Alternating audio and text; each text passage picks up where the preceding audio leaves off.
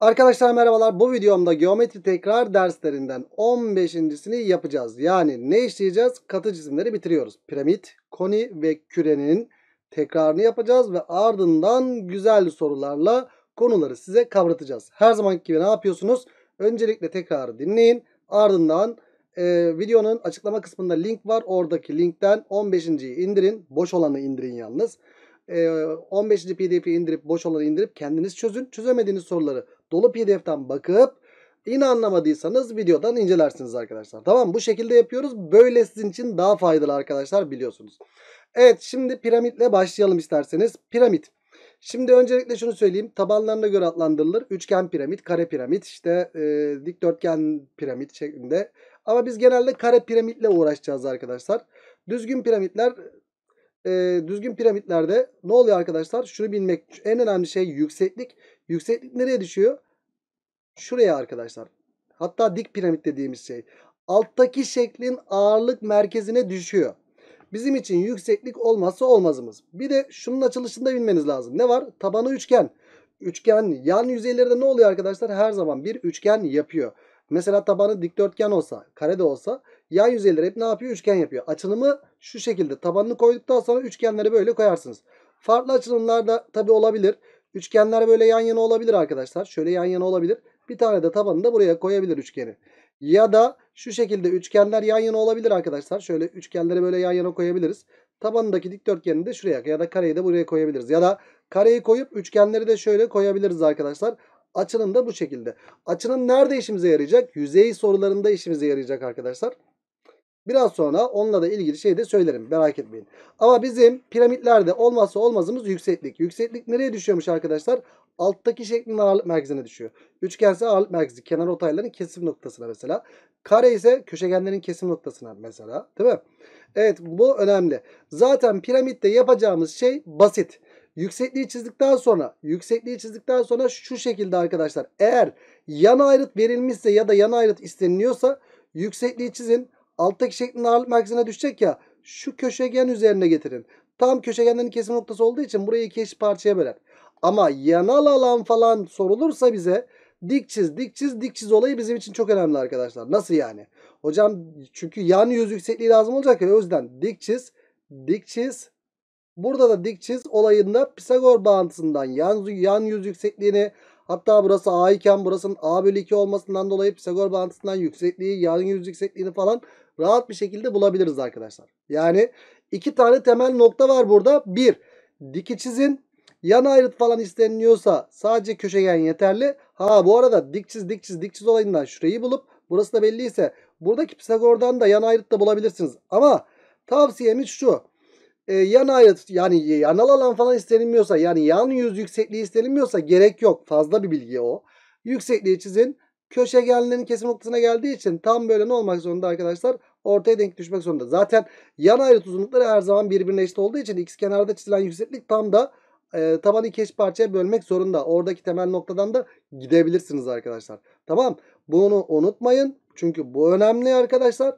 Hatta buradan çizilen yükseklik böyle bu, bu yan ayrıttan e, aşağıya dik çizsen yine şu köşegen üzerine gelmek zorunda. Yani şunun iz düşümü şu köşegen üzerinde. Şu ayrıtın iz düşümü bu köşegen üzerinde olacaktır arkadaşlar. Bunu sakın ama sakın unutmayın. Tamam mı? Sonra açının bu şekilde açınımı bilmemiz gerekiyor ama açınımın üçgenlerin yan yana olmasında da biraz önceki söylediğim şekilde de olabilir. E, hacim ucu sivri olan şekillerde piramitte ve konide. Hacim her şeyde aynıydı. Taban alanı çarpı yükseklikti bütün prizmalarda. Burada da ucu sivri olan şekillerde ayağınla bastığında batıyorsa bölü 3 diyeceksin. Yani taban alanı çarpı yükseklik bölü 3'ü unutma. Piramitte de aynı, konide de aynı. Hacim tamam. Şurada yazıyor zaten arkadaşlar. Hacim taban alan çarpı yükseklik bölü 3.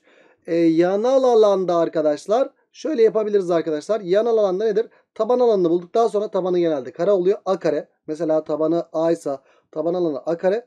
E, A çarpı HY bölü 2'den kaç tane olacak arkadaşlar? 4 tane olacak. Ya da taban çevresi çarpı yükseklikte diyebiliyorlar ama üçgenlerin hepsi aynı olmuyor mu burada? A çarpı HY bölü 2 burası. Arka taraftaki de öyle. Tabi dikdörtgen olursa oradaki üçgenler farklı oluyor. Sağlı sollu üçgenler aynı oluyor. Önlü arkalı üçgenler aynı oluyor dikdörtgen olursa. Değil mi arkadaşlar?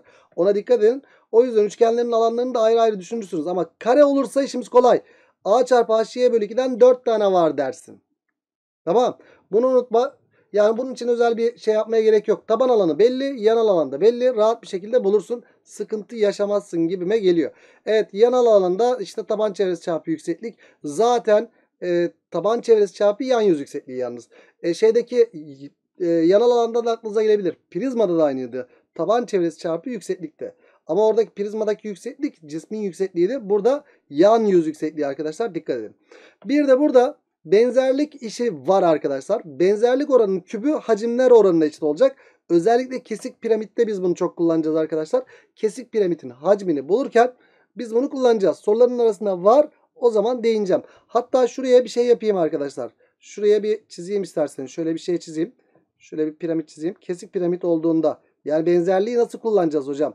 Mesela şöyle bir şey olsaydı arkadaşlar kesik piramitimiz bizim şu şekilde olmuş olsaydı. Evet bazen çizemiyoruz. Evet şu şekilde olmuş olsaydı. Atıyorum benzerlik oranı.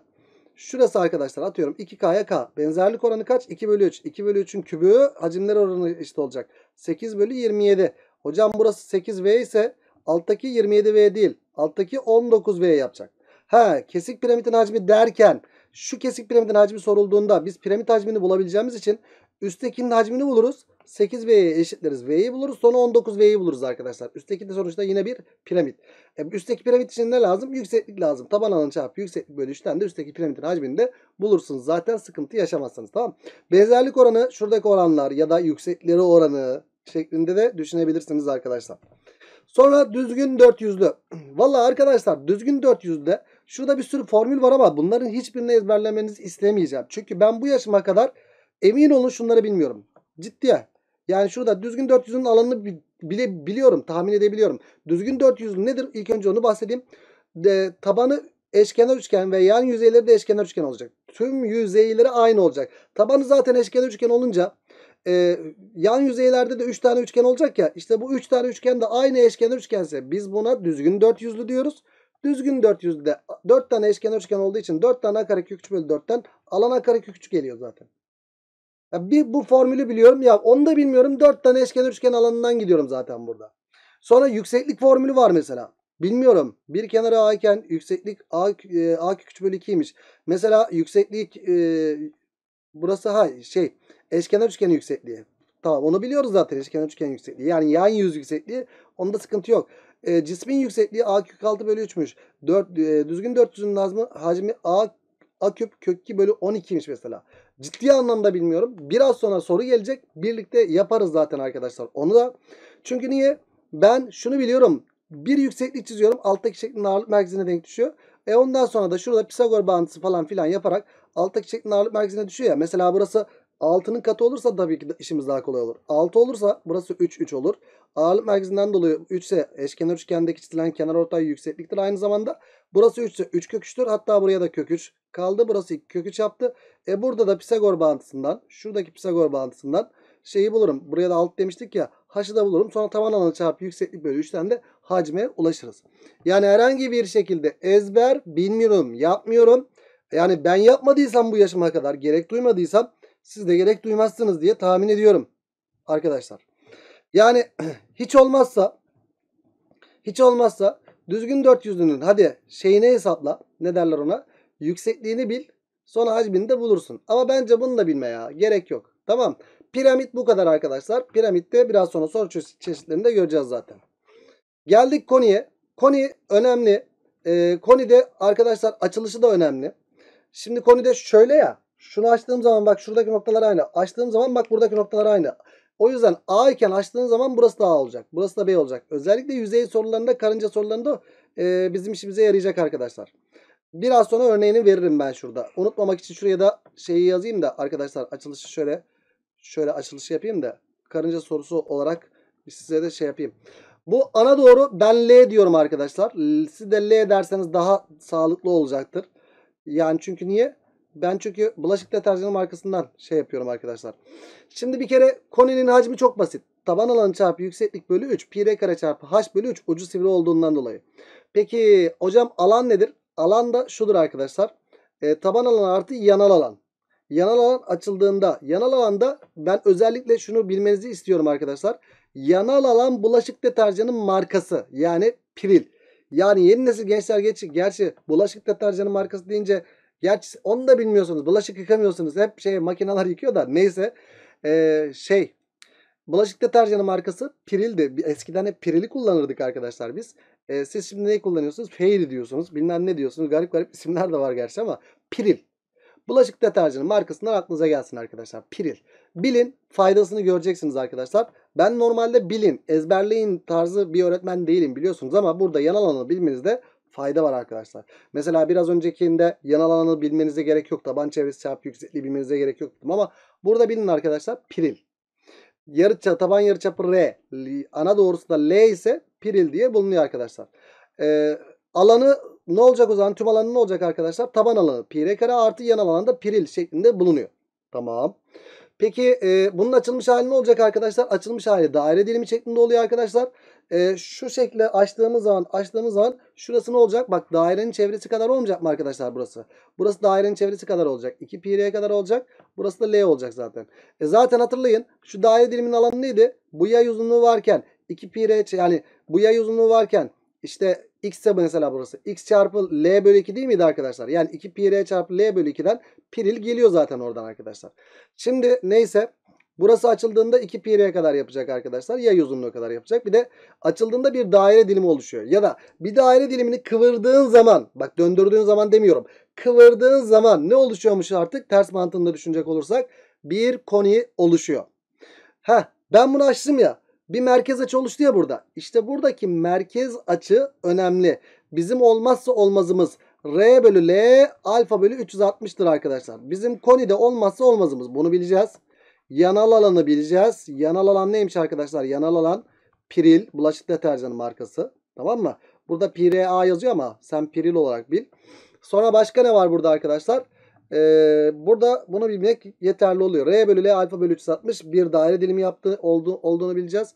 R bölü L alfa bölü 360 bir de yanal alanın piril olduğunu bildiğiniz zaman çoğu soruyu çok rahat bir şekilde yapacaksınız. Ha hacimde ne dedik? Taban alanı pi r kare çarpı h ucu sivri olduğu için bölü 3 diyeceğiz arkadaşlar. Bu kadar. Ee, tabii ki burada Üçgenvari işlemlerle yine karşılaşacağız arkadaşlar. Hangi şeyle karşılaşacağız? Mesela ikizkenar üçgenle karşılaşacağız. İkizkenar üçgenle ilgili e, yapılan işlemler yükseklikte alttaki şeklin ağırlık merkezine düştüğünü de biliyoruz zaten. İkizkenar üçgenlerle ilgili sorulabilen sorular burada da karşımıza çıkabiliyor arkadaşlar. Bir de şunu söyleyeyim. E, ben şimdi şöyle bir koni varken arkadaşlar. Şimdi açılım sorularında bir koni varken şurası A iken burası da B iken bizim konimiz şöyle gelip bizim konideki şeyimiz arkadaş bir arkadaş şöyle gelip şuraya bir yere geliyorsa arkadaşlar mesela şöyle iki eş parçaya bölsün. O zaman bunun açılımında arkadaşlar ne yapacaksınız biliyor musunuz? Açılımı bir daire dilimi bir daire dilimi. Yalnız şurası çok önemli arkadaşlar. Burası A iken burası A olacak. Önemli olan A iken nereye geliyor arkadaşlar? TA üstüne geliyor. A iken TA üstüne gelecek. İşte bu şekilde çizeceksiniz arkadaşlar burayı. Tamam mı? En kısa yol. Bunun gittiği en kısa yol burası oluyor arkadaşlar. Buraya. A'dan TA üstündeki orta noktaya gidiyor. Eğer şöyle olmuş olsaydı arkadaşlar bizim konimiz. Bakın dikkat edin. Çok dikkat edin arkadaşlar. Bunlar önemli. Bizim konimiz böyle olmuş olsaydı ve şuradan şuraya gelmiş olsaydı bir karınca ya da bir dağ olsaydı dağcı buradan böyle yürümüş olsaydı gittiği en kısa yol sorulmuş olsaydı yine şurası ne T ve A ve B diyecek olursam buradaki A ve B önemli arkadaşlar. B nerede oluyor? Tam ortada oluyor. Açılışını yapacaksınız. Açılışında R bölü L alfa bölü 360'tan önemli. Bu, açılışındaki buradaki açı da önemli arkadaşlar. Ee, burası A iken burası ne olacak? A. Bak bu sefer tam bunun ortasına gitmeyecek. Bu sefer nereye gelecek? TB'nin ortasına gelecek. B nerede? Tam burada arkadaşım. O zaman TB'nin ortasına gelecek arkadaşım orada. TB burası arkadaşlar. TB'nin ortasına nasıl getireceksin? Hop şöyle. E, TB'nin ortasına geldi ve iki eş parçaya bölecek şekilde geldi. Bu arada şu açımız tamamı alfa. O zaman burada kaçımız kaç yapar arkadaşlar? Alfa bölü 2 alfa bölü 2 yapar. Ee, özellikle açılım sorularında yüzey sorularında da bu işimize yarayacak olan kısım. Yani nereden nereye gittiği önemli. Yani A'dan başlayıp TA doğrusu üzerine mi A'dan başlayıp TB doğrusu üzerine mi gidiyor? Bu önemli arkadaşlar. Buna dikkat edin. Burada da kesik konu ile uğraşacağız arkadaşlar. Hatta kesik konu ile ilgili mükemmel sorularımız var arkadaşlar. Göreceksiniz. E, piramitte o kadar yazmadım ama kesik konudaki mantığı anlayan e, piramittekini de çok rahat bir şekilde yapabilir. E, piramitte de yine şöyle bir şey geldiği zaman arkadaşlar benzerlik oranının kübü hacimler oranına eşittir arkadaşlar. Mesela şunlar birbirine eşitse 1 bölü 2 oran var ya 1 bölü 2'nin kübü kaç yapıyor arkadaşlar? 1 bölü 8 yapıyor. Yani burası V iken burası ne olacak? 7V olacak arkadaşlar. Çünkü tamamı 8V olacak. Tamam O yüzden buradaki kesik koninin hacmi sorulduğunda siz üstteki koninin hacmini bulursunuz. V'yi bulduktan sonra da 7V'yi bulursunuz. Yani alttakine ait bir formül var mı? Yok. Kesik koni değil tam koni. Sen bunu böyle kestiğin zaman üstteki yine bir koni yapıyor. Ama alttaki kesik koni yapıyor arkadaşlar. O kesik konuyla yine benzerlikten, üçgen bilgisinden oradan buradan şuradan yapıp ona göre işlem yapacağız arkadaşlar. Geldik küreye. Arkadaşlar küre. Kürede de size verebileceğim tek tavsiye şu. Bir kere ezber. Yani alanın 4 tane pi r kare olduğunu e, hacminin de 4 bölü 3 pi r küp olduğunu herkes bilecek. Bir de küredeki karpuzu kestiğiniz zaman ne oluşuyor? Bir daire dilimi oluşuyor arkadaşlar. Kesiti kürenin kesiti her zaman bir daire yapar. Sen bunu yanda kessen şöyle de kessen yine ne olacaktır arkadaşlarım? Yine bir daire şeklinde bir kesit oluşacaktır. Küredeki en büyük kesit neresidir? Tam çapta kestiğimiz zamanki en büyük kesittir arkadaşlar burası. Evet kürenin kesitte ne oluyormuş arkadaşlar? Bir daire yapıyormuş. Buna da dikkat edin arkadaşlar. Çünkü bu kesitlerden falan bahsedilebilir. ÖSYM de bunu seviyor arkadaşlar. Ve kürede size verebileceğim tek tavsiye şu. Bir formülleri ezberleyeceksiniz. Bileceksiniz. 4 tane pi r kare alana eşit. 4 bölü 3 pi r küp hacme eşit. Bir de şunu bilmenizi tavsiye ediyorum. Kürede küreye çember muamelesi yapın. Çemberde ne yapıyordunuz arkadaşlar? En güzel çizim yarıçap. Burada da yarıçap. Çemberler birbirine dediğinde merkezleri birleştir. Burada da küreler birbirine değerse merkezleri birleştir. Merkez varsa teğet varsa çektik. Burada da merkez ve teğet varsa çektik yapacaksınız arkadaşlar. Çemberde ne yapıyorsanız burada da aynısını yapacaksınız. Bu dediğimi sakın ama sakın unutmayın. Basit düşünen bu küre sorularını rahat bir şekilde yapar kardeşim. Evet bizim konu anlatımımız bu kadar arkadaşlar. Evet ince detayları da verdik galiba. Şimdi sorulara başlayalım isterseniz. Evet birinci soruyla başlayalım. başlamadan önce ne yapıyoruz gençler? Soruları kendiniz çözüyorsunuz. O önemli. Lütfen bu dediğimi yapın arkadaşlar. Şimdi şuraya başladık arkadaşlar. Piramidin hacmini 48 demiş. E tabanı ne? Düzgün kare piramit. Kare olduğu için burası da 6. Arkadaşlar bakış açısından dolayı işte paralel kenarmış gibi gözüküyor sadece böyle. Taban alanı kaç? 36. 6'nın karesi. Bakın taban alanı çarpı yükseklik bölü 3. Bölü 3'ü unutmayın arkadaşlar lütfen. Ne eşitmiş? 48'e eşitmiş.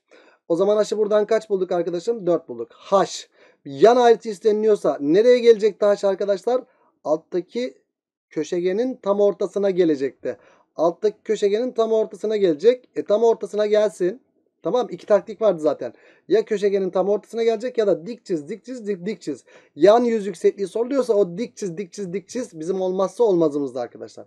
Neyse yükseklik buraya denk geldi arkadaşlar. Ee, bizden de zaten ne isteniliyor? Şuradaki uzunluk isteniyor. Yüksekliği kaç bulduk? 4. Hocam burası 6. 6. E, o zaman burası 6 kök 2 yapmaz mı gençler? Bu 12 bu arada 4, 4 olarak doğru bulduk değil mi? Evet h'ı 4 bulduk doğru. 6 6 ise burası 6 kök 2 kare olduğundan dolayı. E bunlar da 3 kök 2 3 kök 2 yaptı. E artık burada Pisagor bağıntısı x'in karesi de eşittir. 4'ün karesi artı 3 kök 2'nin karesi. Buradan 16 artı e, 18 x kare eşittir 16 artı 18'den e, kaç yapıyor? 34 yapıyor. X de buradan kaç eşit olacaktır? Kök 34'e eşit olacaktır arkadaşlar. Evet birinci sorumuzun cevabı kök 34 yaptı. Geldik ikinci soruya. Şimdi bir uzunluk verilmiş arkadaşlar. Buradaki uzunluk piramidin taban alanını ne vermiş? Kare piramit mi? Evet. Taban alanını ne vermiş arkadaşlar? 200 vermiş. A kare eşittir 200 ise A'yı buradan kaç buluruz arkadaşlar? Ee, 10 kök 2 buluruz herhalde değil mi? Evet 10 kök 2 buluruz. Şurası 10 kök 2. Burası da 10 kök 2 olarak bulundu arkadaşlar. Peki. Şimdi ne yapacağız? Ben buradaki uzunluğu bulacağım arkadaşlar. O EC uzunluğunu kullanacağım. Buraya 17 vermişler. Arkadaşlar ben size ne dedim? Şuradan da dik çizseniz nereye gelecek? Alttaki şeklin bak ayrıtların her birinin iz düşümü köşegen üzerine gelir. Sen buradan dik çizsen yani dikiz düşümünü almış oluyorsun. Köşegeni çizmelisin. Köşegen üzerine gelecek. Zaten buradaki eşitliği de kullanacağım bak şimdi ben.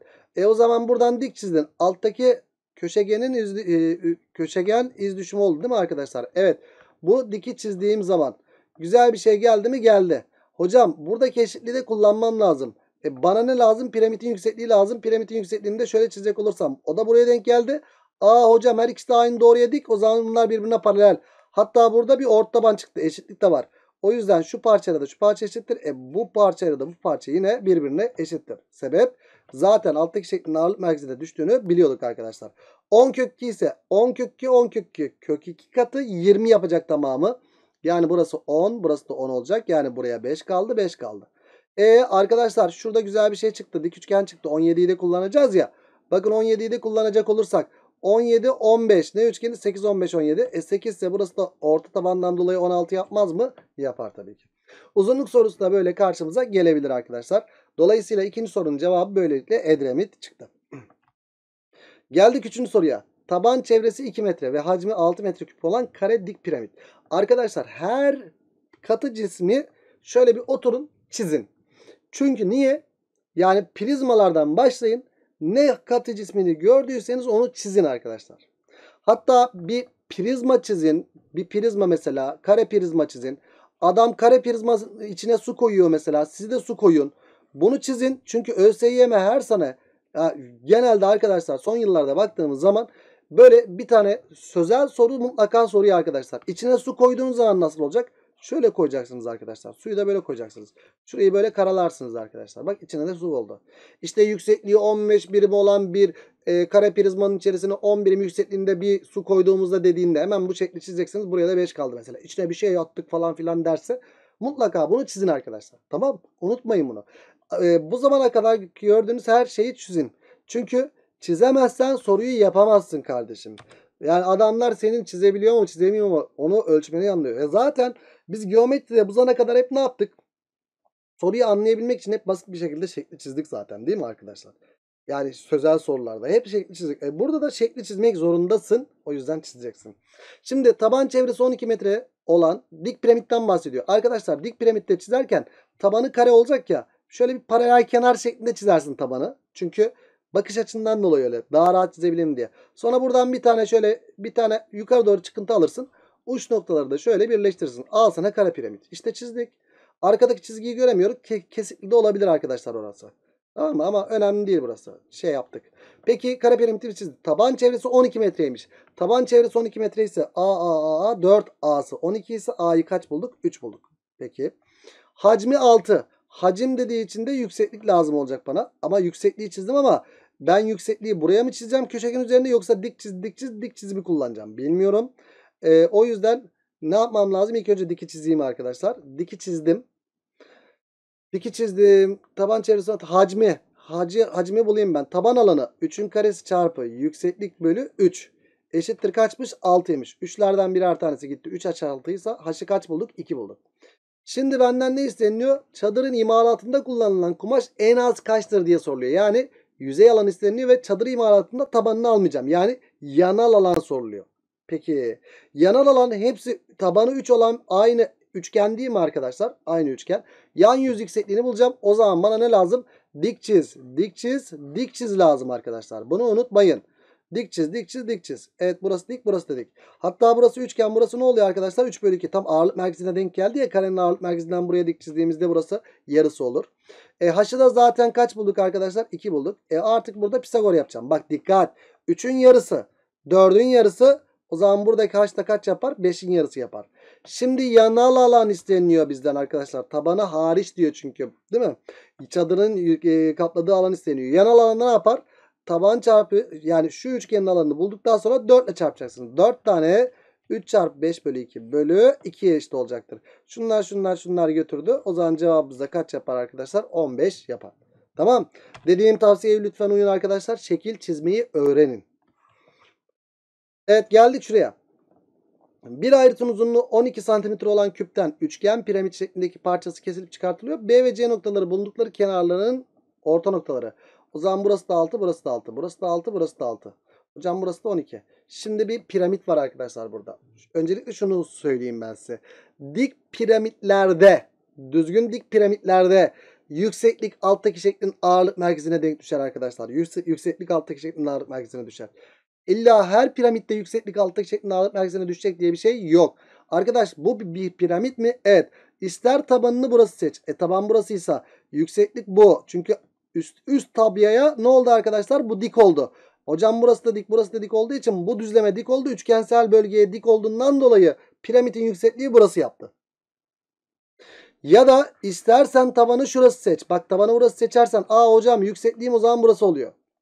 İstersen tabanı şurası seç. Tabanı burası seçersen aa yükseklik hocam burası oluyor. İstediğin yerden seç kardeşim. Hiç fark etmez. Ben şurayı seçeceğim. Burası da 90 derece çünkü. Taban olarak burayı seçeceğim. Sonuçta hacim isteniyor bizden. Hacim dediğimiz her zaman bütün piramitlerde aynıdır arkadaşlar. Düzgün de olsa normalde olsa. Yani yükseklik alttaki şeklinde ağırlık merkezine gelmese de taban alanı yani 6 çarpı 6 bölü 2 değil mi? Dik üçgenin alanı olduğu için çarpı yükseklik bölü 3'ü kesinlikle ama kesinlikle unutmuyoruz arkadaşım. Şimdi buradan şu şu şu gitti. Kaç yaptı arkadaşlar? 72'ye eşit oldu. Cevabımız böylelikle 72 oldu sevgili gençler dördüncü soruda. Geldik 5. soruya. Bak bir açınım vermişler. Neyin açınımı bu arkadaşlar? 1, 2, 3, 4, 5, 6 tane yan yüzey üçgen varsa arkadaşlar taban zaten altıgen verilmiş. Altıgen nedir bu? Piramittir. Evet. Şekilde taban ayrıt uzunluğu 10 santimetre olan düzgün altıgen taban ayrıtının uzunluğu 10 santimetre olan hemen düzgün altıgen piramidi çizelim arkadaşlar. Bakın ben çiziyorum. Siz de çizin arkadaşlar. Siz de çizin. Elinizi alıştırın. Elinizi alıştırın. Bir burada altıgende ne yapacaksınız biliyor musunuz? Tabana bir altıgen çizeceksin. Bak şimdi tabana bir altıgen çizeceksin. Tepede bir nokta alacaksın. Buradaki tepedeki noktayı da bütün köşelere birleştireceksin kardeşim. Bu kadar basit. Bak çizdin çizdin çizdin. Al işte. Hepsini çizdik arkadaşlar. Tamam altıgen hallettik. Şekilde taban ayrıtının uzunluğu kaç olan diyor? 10 olan diyor. Yani altıgenin bir kenarı 10 birim olan diyor. Bir düzgün altıgen piramidin açınımı verilmiştir. Piramidin yanal alanı 360 olduğuna göre açınımın çevre uzunluğu şu açınımın bu şekildeki çevre uzunluğu nedir diye soruluyor arkadaşlar bize. E arkadaş burası 10 sa burası 10 burası 10 burası 10. Bak üçgenin tabanı burası. Bunlar da L'si yapmıyor mu? Ya da taban ayrıtı ya da yan yan yan yüzeyi yapmıyor mu arkadaşlar? Evet yan yüzeyi yapıyor. Yani ben buraya L diyecek olursam o zaman şurada L'yi bulmam lazım. Şimdi bana piramidin yanal alanı 360 demiş. Yanal alanı dediğimiz kaç tane üçgen var? 6 tane üçgen var. 6 tane üçgen 360 ise bir tane üçgenimiz kaç yapar? 60 yapar. E bir tane üçgenimiz 60 ise şekil karışmasın diye bu yanda yapıyorum arkadaşlar. Tabanımız kaç? 10. Tabana ait yüksekliğin kaç olması lazım arkadaşlar? 10 çarpı h bölü 2'nin 60 yapması lazım. O zaman buradan 5 12. H'ı buradan kaç bulduk? 12 bulduk. H 12. Çok güzel. Şimdi hatta burada da güzel bir şey çıkıyor arkadaşlar. Şurası kaç çıktı? Ee, ikizkenar olduğu için burası LL olduğu için arkadaşlar. E, H 12 ise burası da 5 5 ya. 5 12 13 çıktı. Evet L'yi de kaç bulduk arkadaşlar? 13. Burası da 13. Olay bitti sanki değil mi? Burası taban şeyi ise o zaman burası da taban şeyleri. Bunlar da 10 10 10 10 10. E şimdi çevreye bakacağım arkadaşlar. Çevrede kaç tane 10 var? Sayalım. Hocam çevresi 1 2 3 4 5 6 7 8 tane 10 9 tane 10 10 tane 10. 10 tane 10 var çevrede arkadaşlar. E bir de artı ne var? 2 tane de 13 var. 2 tane de 13 var. O zaman kaç çıkıyor arkadaşlar? Cevabımız 126 çıkar. Evet cevabımız Edremit çıktı arkadaşlar. Evet bu şekli burada çizmemize gerek kalmadı arkadaşlar. Ama ben size bir şey daha göstereyim burada. Hani yani şekli çizmeden de yapabilir misiniz aslında? Olur ya hacmini macmini sorsaydı. Hocam tabanına ait yüksekliği çizeceğiz. O zaman bak şekil lazım olacaktı. E hocam ben neyi biliyorum? Yan yüz yüksekliğini 12 buldum zaten. E ben buraya yükseklik tam alttaki şeklin ağırlık merkezine denk düşüyordu. Yani şuradaki eşkenar üçgenler değil miydi arkadaşlar bunlar? Alttan eşkenar üçgenden oluşuyordu. Evet. O zaman ben yan yüz yüksekliğini de biliyorsam bakın bakın bakın bakın bakın bakın yan yüz yüksekliğini de biliyorsam e hocam bu yan yüz yüksekliği şuradan da bir dik çizdiğim zaman eşkenar üçgendeki yükseklik olacaktı burası. Burası 10 sa burası da 10. Bunlar 5 5 yaptı. Burası 5 kök 3 yapacak. E, yan yüz yüksekliği de zaten 12. 12 ve 5 köküçten dolayı cisim yüksekliğini de bulabilirdim arkadaşlar. Cisim, cisim yüksekliğini de bulunca taban alanı çarpı yükseklik deyip hacmine bu şekilde ulaşırdık arkadaşlar. Tamam. Bu da ekstradan yaptığım bir şey. Ama çözüme baktığınızda kafanız karışmasın diye ben şu şekilde şunları da sileyim isterseniz.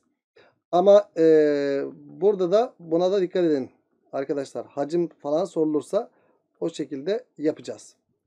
Evet 5. soruyu böylelikle 126 bulduk. Geldik 6. soruya. Evet bir açınım sorusu arkadaşlar yine. Yukarıda verilen karedik piramidinde işte 60 derece vermiş. Arkadaşlar eğer bu kare, kare piramitse yan yüzeyleri hep eşittir. Yani burası 6 ya burası da 6. Çünkü bunlar hep birbirine eşit ya. 6, 6, 6. yan yüzeyler hep eşittir. Mesela dikdörtgen olsaydı, tabanı dikdörtgen olsaydı yan yüzeyleri eş olmayacaktı. Şuradaki uzun, daha uzun kenar, burası daha kısa kenar olacaktı. O zaman bu üçgenle bu üçgene eş diyemeyecektik arkadaşlar. Ama şöyle diyebilirdik dikdörtgen olsaydı. Hocam önle arkası eş, sağla solu eş diyebilirdik. Ama biz genelde kare piramitle uğraşacağız arkadaşlar. Neyse devam edelim. A köşesinde bulunan karıncanın piramidin yan yüzeyinden ilerleyecek. Hangi yüzeylerden ilerliyorsa onları açacağım. Bu ön yüzey ve burası. Yani iki tane üçgeni açmam yeterli arkadaşlar. Sadece iki üçgen açmam yeterli. Hocam bir tane üçgen burada. Hocam bir tane üçgen de burada. Yani üçgeni yanına doğru açıyorum. İki üçgeni yan yana getirdim. Burada kaç kaç derece? 60. Burada kaç kaç derece? 60. E burası 6. Burası da 6. Nereden başlıyoruz? Şuradan başlıyoruz. C'ye gideceğiz. Evet şuradan başlıyoruz. C'ye gideceğiz. E buradan başlayıp C'ye gitmek demek hop buradan buraya gitmek demek. Aa ne çıktı hocam burada? 120, 30, 30 çıktı. Yani 6, 6 ise burası da kaç yapar arkadaşlar? 6 kök 3 yapar. Yani gittiği en kısa yol bu yapar arkadaşlar. Tamam mı? Evet cevabımız 6 kök 3 yapar. Geldik, geldik, geldik, geldik, geldik, geldik. Nereye? Buradan buraya hiç sapmadan dümdüz gidecek arkadaşlar değil mi? Evet yalnız, yalnız, yalnız, yalnız, yalnız, yalnız. Doğru doğru. Şuraya da gelebilirdi tam böyle. Buradan başlayıp şuraya da gelebilirdi. O zaman buradan buraya tam böyle hani ortasına gelebilirdi. O zaman ortasına götürecektiniz. Yine aynı hamle. E, bu sefer tabii e, 120 kosinüs teoremini kullanabilirdiniz. Ya da dik çizip ona göre işlem yapabilirdiniz arkadaşlar. Geldik 7. soruya. Bak bu sefer ön yüzey, sağ yüzey, arka yüzey ve bu sol yüzeyi kullanıp aynı noktaya gelmiş. Hmm. O zaman ne yapacaksınız? Kaç tane üçgen açacaksınız arkadaşlar burada? 4 tane üçgen açacaksınız. Oo dur soru bitiyor. Dur soru bitmiyor pardon. Soruda acayip bir şey var. Dur bakalım ne diyor? Şimdi yukarıdaki şekilde A noktasında bulunan karınca piramidin yan yüzeylerinde ilerleyerek en kısa yoldan başladığı noktaya geri dönmüştür. Şuradan başlayıp şuraya geri dönmüş. Karıncanın aldığı yollar aşağıdaki gibi piramidin açılımında kırmızı noktalarla göstermiştir. Bak piramidi bu sefer bu şekilde açmış. Farklı şekilde açılımlar olabilir. Ama benim açınımda hangi açınım daha önemli sizce? Üçgenlerin yan yana olması daha önemli değil mi? Evet. Evet şuradan şuraya, buradan buraya, buradan buraya, buradan buraya. Sonuçta ne yapıyor bak? Bak hangi şey soruluyor bize? Okuyalım. FG artı HL. FG artı HL hangi yüzeyde arkadaşlar? FG ile HL DC kenarıyla BC kenarında. DC kenarıyla BC kenarında. Evet şu üçgenlerde açılımdaki bu üçgenlerdeki şu ve şu. Benim için önemli olan şurası arkadaşlar. Açılımdaki BC ve CD'nin olduğu yerdeki şu uzunluk soruluyor arkadaşlar bize. Şimdi bize açılım bu şekilde verilmiş ama boş ver.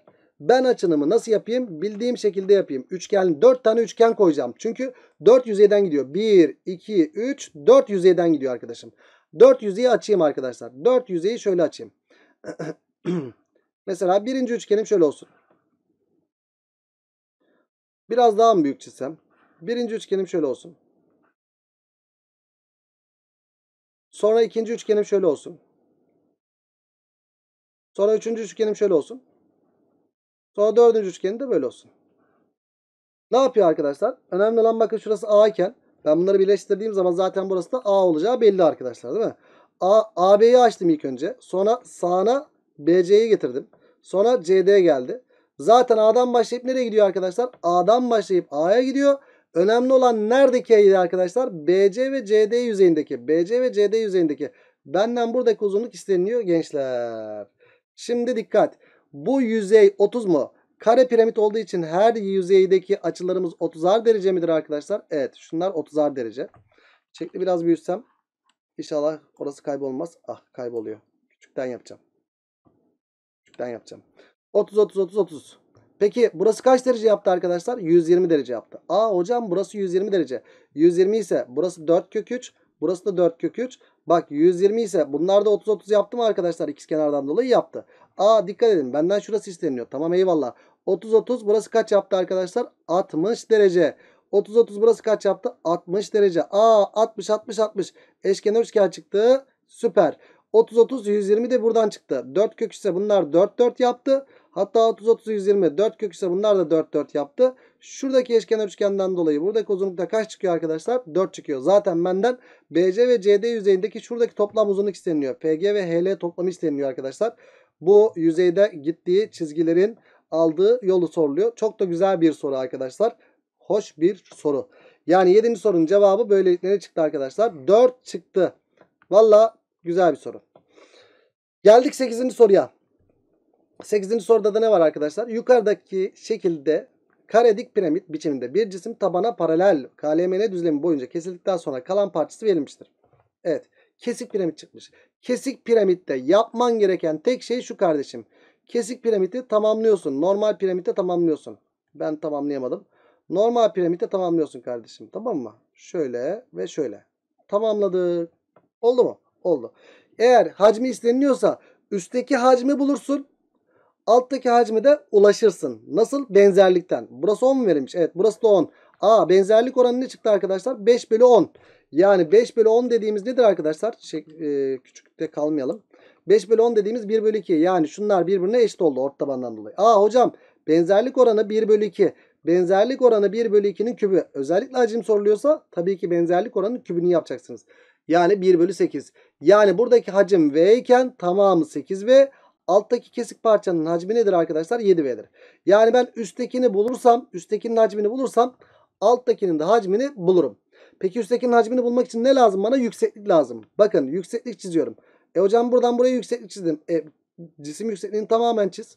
Zaten arkadaşlar bize ne verilmiş? Şurası yükseklik, burası da yükseklik. Şu zeminle bu zemin arasındaki yükseklik 3 verilmiş. Yani burası da 3. Hocam şunlar birbirine eşitse o zaman bunlar da birbirine eşit olmak zorunda. Yükseklikleri de birbirine eşit olmak zorunda. Benzerlik, temel orantı, Thales aynısı. Yani burası da kaç olacak? 3. O zaman ben bu V hacmini bulabilirim. V hacmi nedir?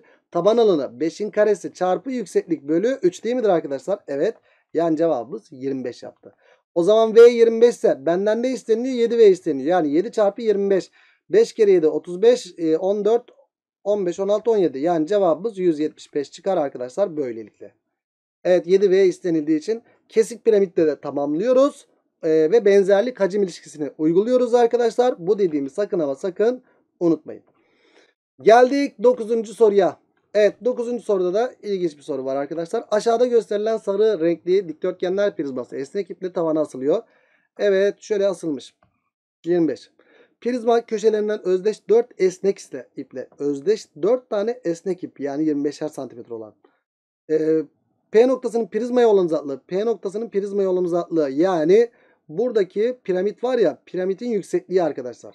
Bu piramit tabanı kare şeklinde mi arkadaşlar? Dikdörtgen piramit şeklindedir.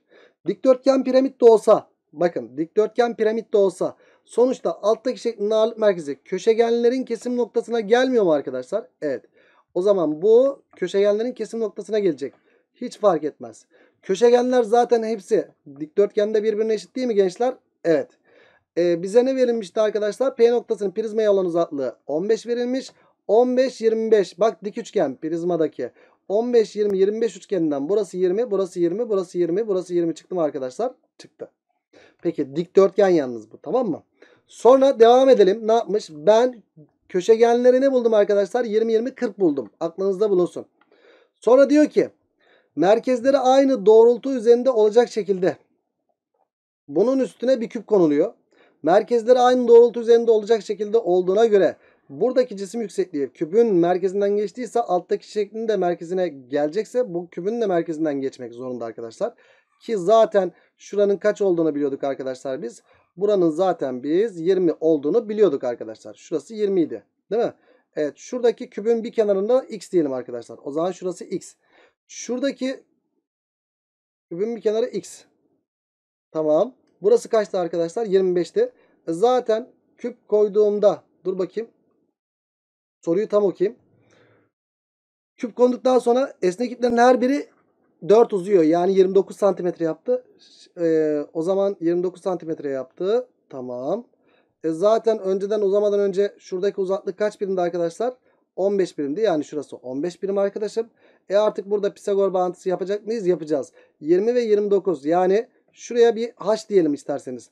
h kare neye eşittir arkadaşlar? Karesi eksi karesine eşittir. 29'un karesi eksi 20'nin karesine eşittir. Yani bu da 29 eksi 20 ve 29 artı 20 şeklinde bulunmaz mı? Yani 9 çarpı 49. 9 çarpı 49 yaptı.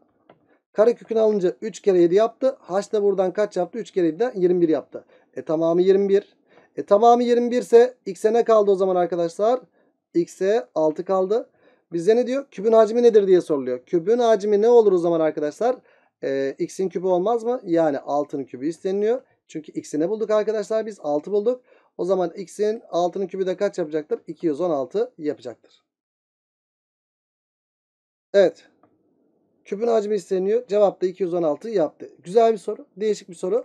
Ee, ipler uzadı. Yine aynı tarzda yapılabilen bir soru arkadaşlar. Evet. Örnek 9'un cevabında böylelikle 216 bulduk. Ve geldik örnek 10'a sanırım. Evet piramitteki son soru arkadaşlar. Bir düzgün 400'lün. Heh düzgün 400'lü çizeceğiz. Düzgün 400'lü de çizin arkadaşlar. Tabana bir eşkenar üçgen çizin ya. Sadece bir eşkenar üçgen. Eşkenar üçgeniniz nasıl olursa olsun hiç fark etmez. İsterseniz böyle düz çizin. Bakın şöyle bir düz, düz çizin isterseniz.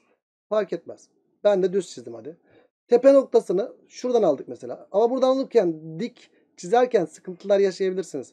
Şöyle yaparsanız daha sağlıklı olacak. Aa düz çizdiğimizde sanki tam böyle de güzel de olmuyor. Biraz yamuk çizseniz daha iyi olacak arkadaşlar. Şöyle, şöyle ve şöyle alın arkadaşlar. Şekli biraz büyüteyim. Evet çizdik. Tepeden de bir nokta aldınız. Köşelere ne yaptınız? Geldiniz. Evet bak düzgün 400'lünün tabanı şurası. Tamam mı arkadaşlar? Çizdik şekli. Tabanı burası. Düzgün 400'lünün hacmini 18 kök 2 olarak vermişler. Ne yapacağız arkadaşlar? Alttaki şeklin ağırlık merkezine denk düşüyordu. Alttaki şeklin ağırlık merkezi de ne yapıyordu arkadaşlar? Tam şu. Ağırlık merkezi şurası arkadaşlar. Ağırlık merkezinden geçen kenar ortaya olacak. Ee, ve bir kenarı 6 olarak seçmenizde daha güzel bir fayda var arkadaşlar. Yani en azından düzgün 400'de şey yapın. Çünkü A A derseniz A ise A kök 3 A kök 3'ü bir de şeye böleceksiniz arkadaşlar. Ne derler ona? A kök 3'ü bir de e, 1'e 2 şeklinde paylaştıracaksınız. O yüzden bence e, şey olarak seçmenizde daha güzel bir fayda var. Ya da 3'ün katı şurası e, 3 seçerseniz 3 bölü 2 ile uğraşırsınız. O yüzden 6 seçmek daha mantıklı. Yani bir kenara 6A dedim arkadaşlar. 6A dedim. O zaman burası 3A burası da 3A. Hocam çizilen yükseklik alttaki şeklin ağırlık merkezine denk düştü mü? Düştü. Bakın şurası 90 derece. E 3A ise 3 kök 3A ağırlık merkezi olduğu için kök 3A'ya 2 kök 3A oldu burası. e buradaki yükseklikte H diyecek olursak. H'ı bulurum ben artık şimdi. H'ı A cinsinden bulurum Pisagor bağıntısından. H kare neye eşit? 36A kare 6A'nın karesi. Eksi 2 kök 3A'nın karesi. 36'dan 12 çıktı. 24 2 kök 6. H buradan 2 kök 6 A'ya eşit oldu arkadaşlar. O zaman hacmini vermiş. Hacmi dediğimiz şey 18 kök 2. Hacim dediğimiz şey bak şimdi dikkat. Hacim dediğimiz 18 kök 2. Neye eşit? Taban alanı. Taban alanı bir kenarına 6A demiştik. 6A'nın karesi A kare kök 3 bölü 4. Değil mi? Çarpı yüksekliğimiz ne arkadaşlar? Yüksekliği de 2 kök 6 olarak bulduk. Bölü 3'e eşit olacaktır sevgili gençler. Burası e, kök 2 ile kök 6'yı sadeleştirsek kök 3 yaptı. 18 yaptı arkadaşlar burası. 18 eşittir. 36 a kare kök 3 bölü 4 çarpı 2 kök 3 bölü 4. Değil mi arkadaşlar? Evet. Şimdi buradaki 36 ile buradaki 4 sadeleşse 9 kaldı burada. Ondan sonra ne geliyor buradan arkadaşlar? Yüzey alanı kaçtır diye soruluyor. Oy oy oy. Olsun yüzey alanı sorulsun önemli değil. Şimdi bu 18 ile 9 sadeleşse kaç kalıyor arkadaşlar burada? 2 kalıyor. Buradaki 2 ile buradaki 2 sadeleşsin. Yukarıda ne kaldı sadece? Ee, şimdi 4 ile de karşı tarafı çarpalım. 4 eşittir. 3 a kare geldi. O zaman buradan a kare ne geldi arkadaşlar? a kare de buradan 4 bölü 3'e eşit oldu. Şimdi benden a kare 4 bölü 3. A lazım bana. Yo a kare 4 bölü 3. Tamam.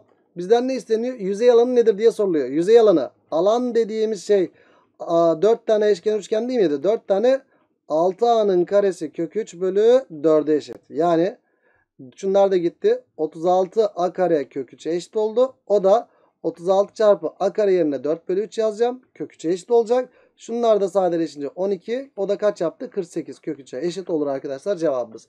Yani formülü bilmemize gerek var mı? Yok. Yani bence düzgün 400'lü karşınıza çıkmaz. Formülü ezberlemeyin. Düzgün 400 ile karşınıza yani açık iç sesimi söylüyorum size.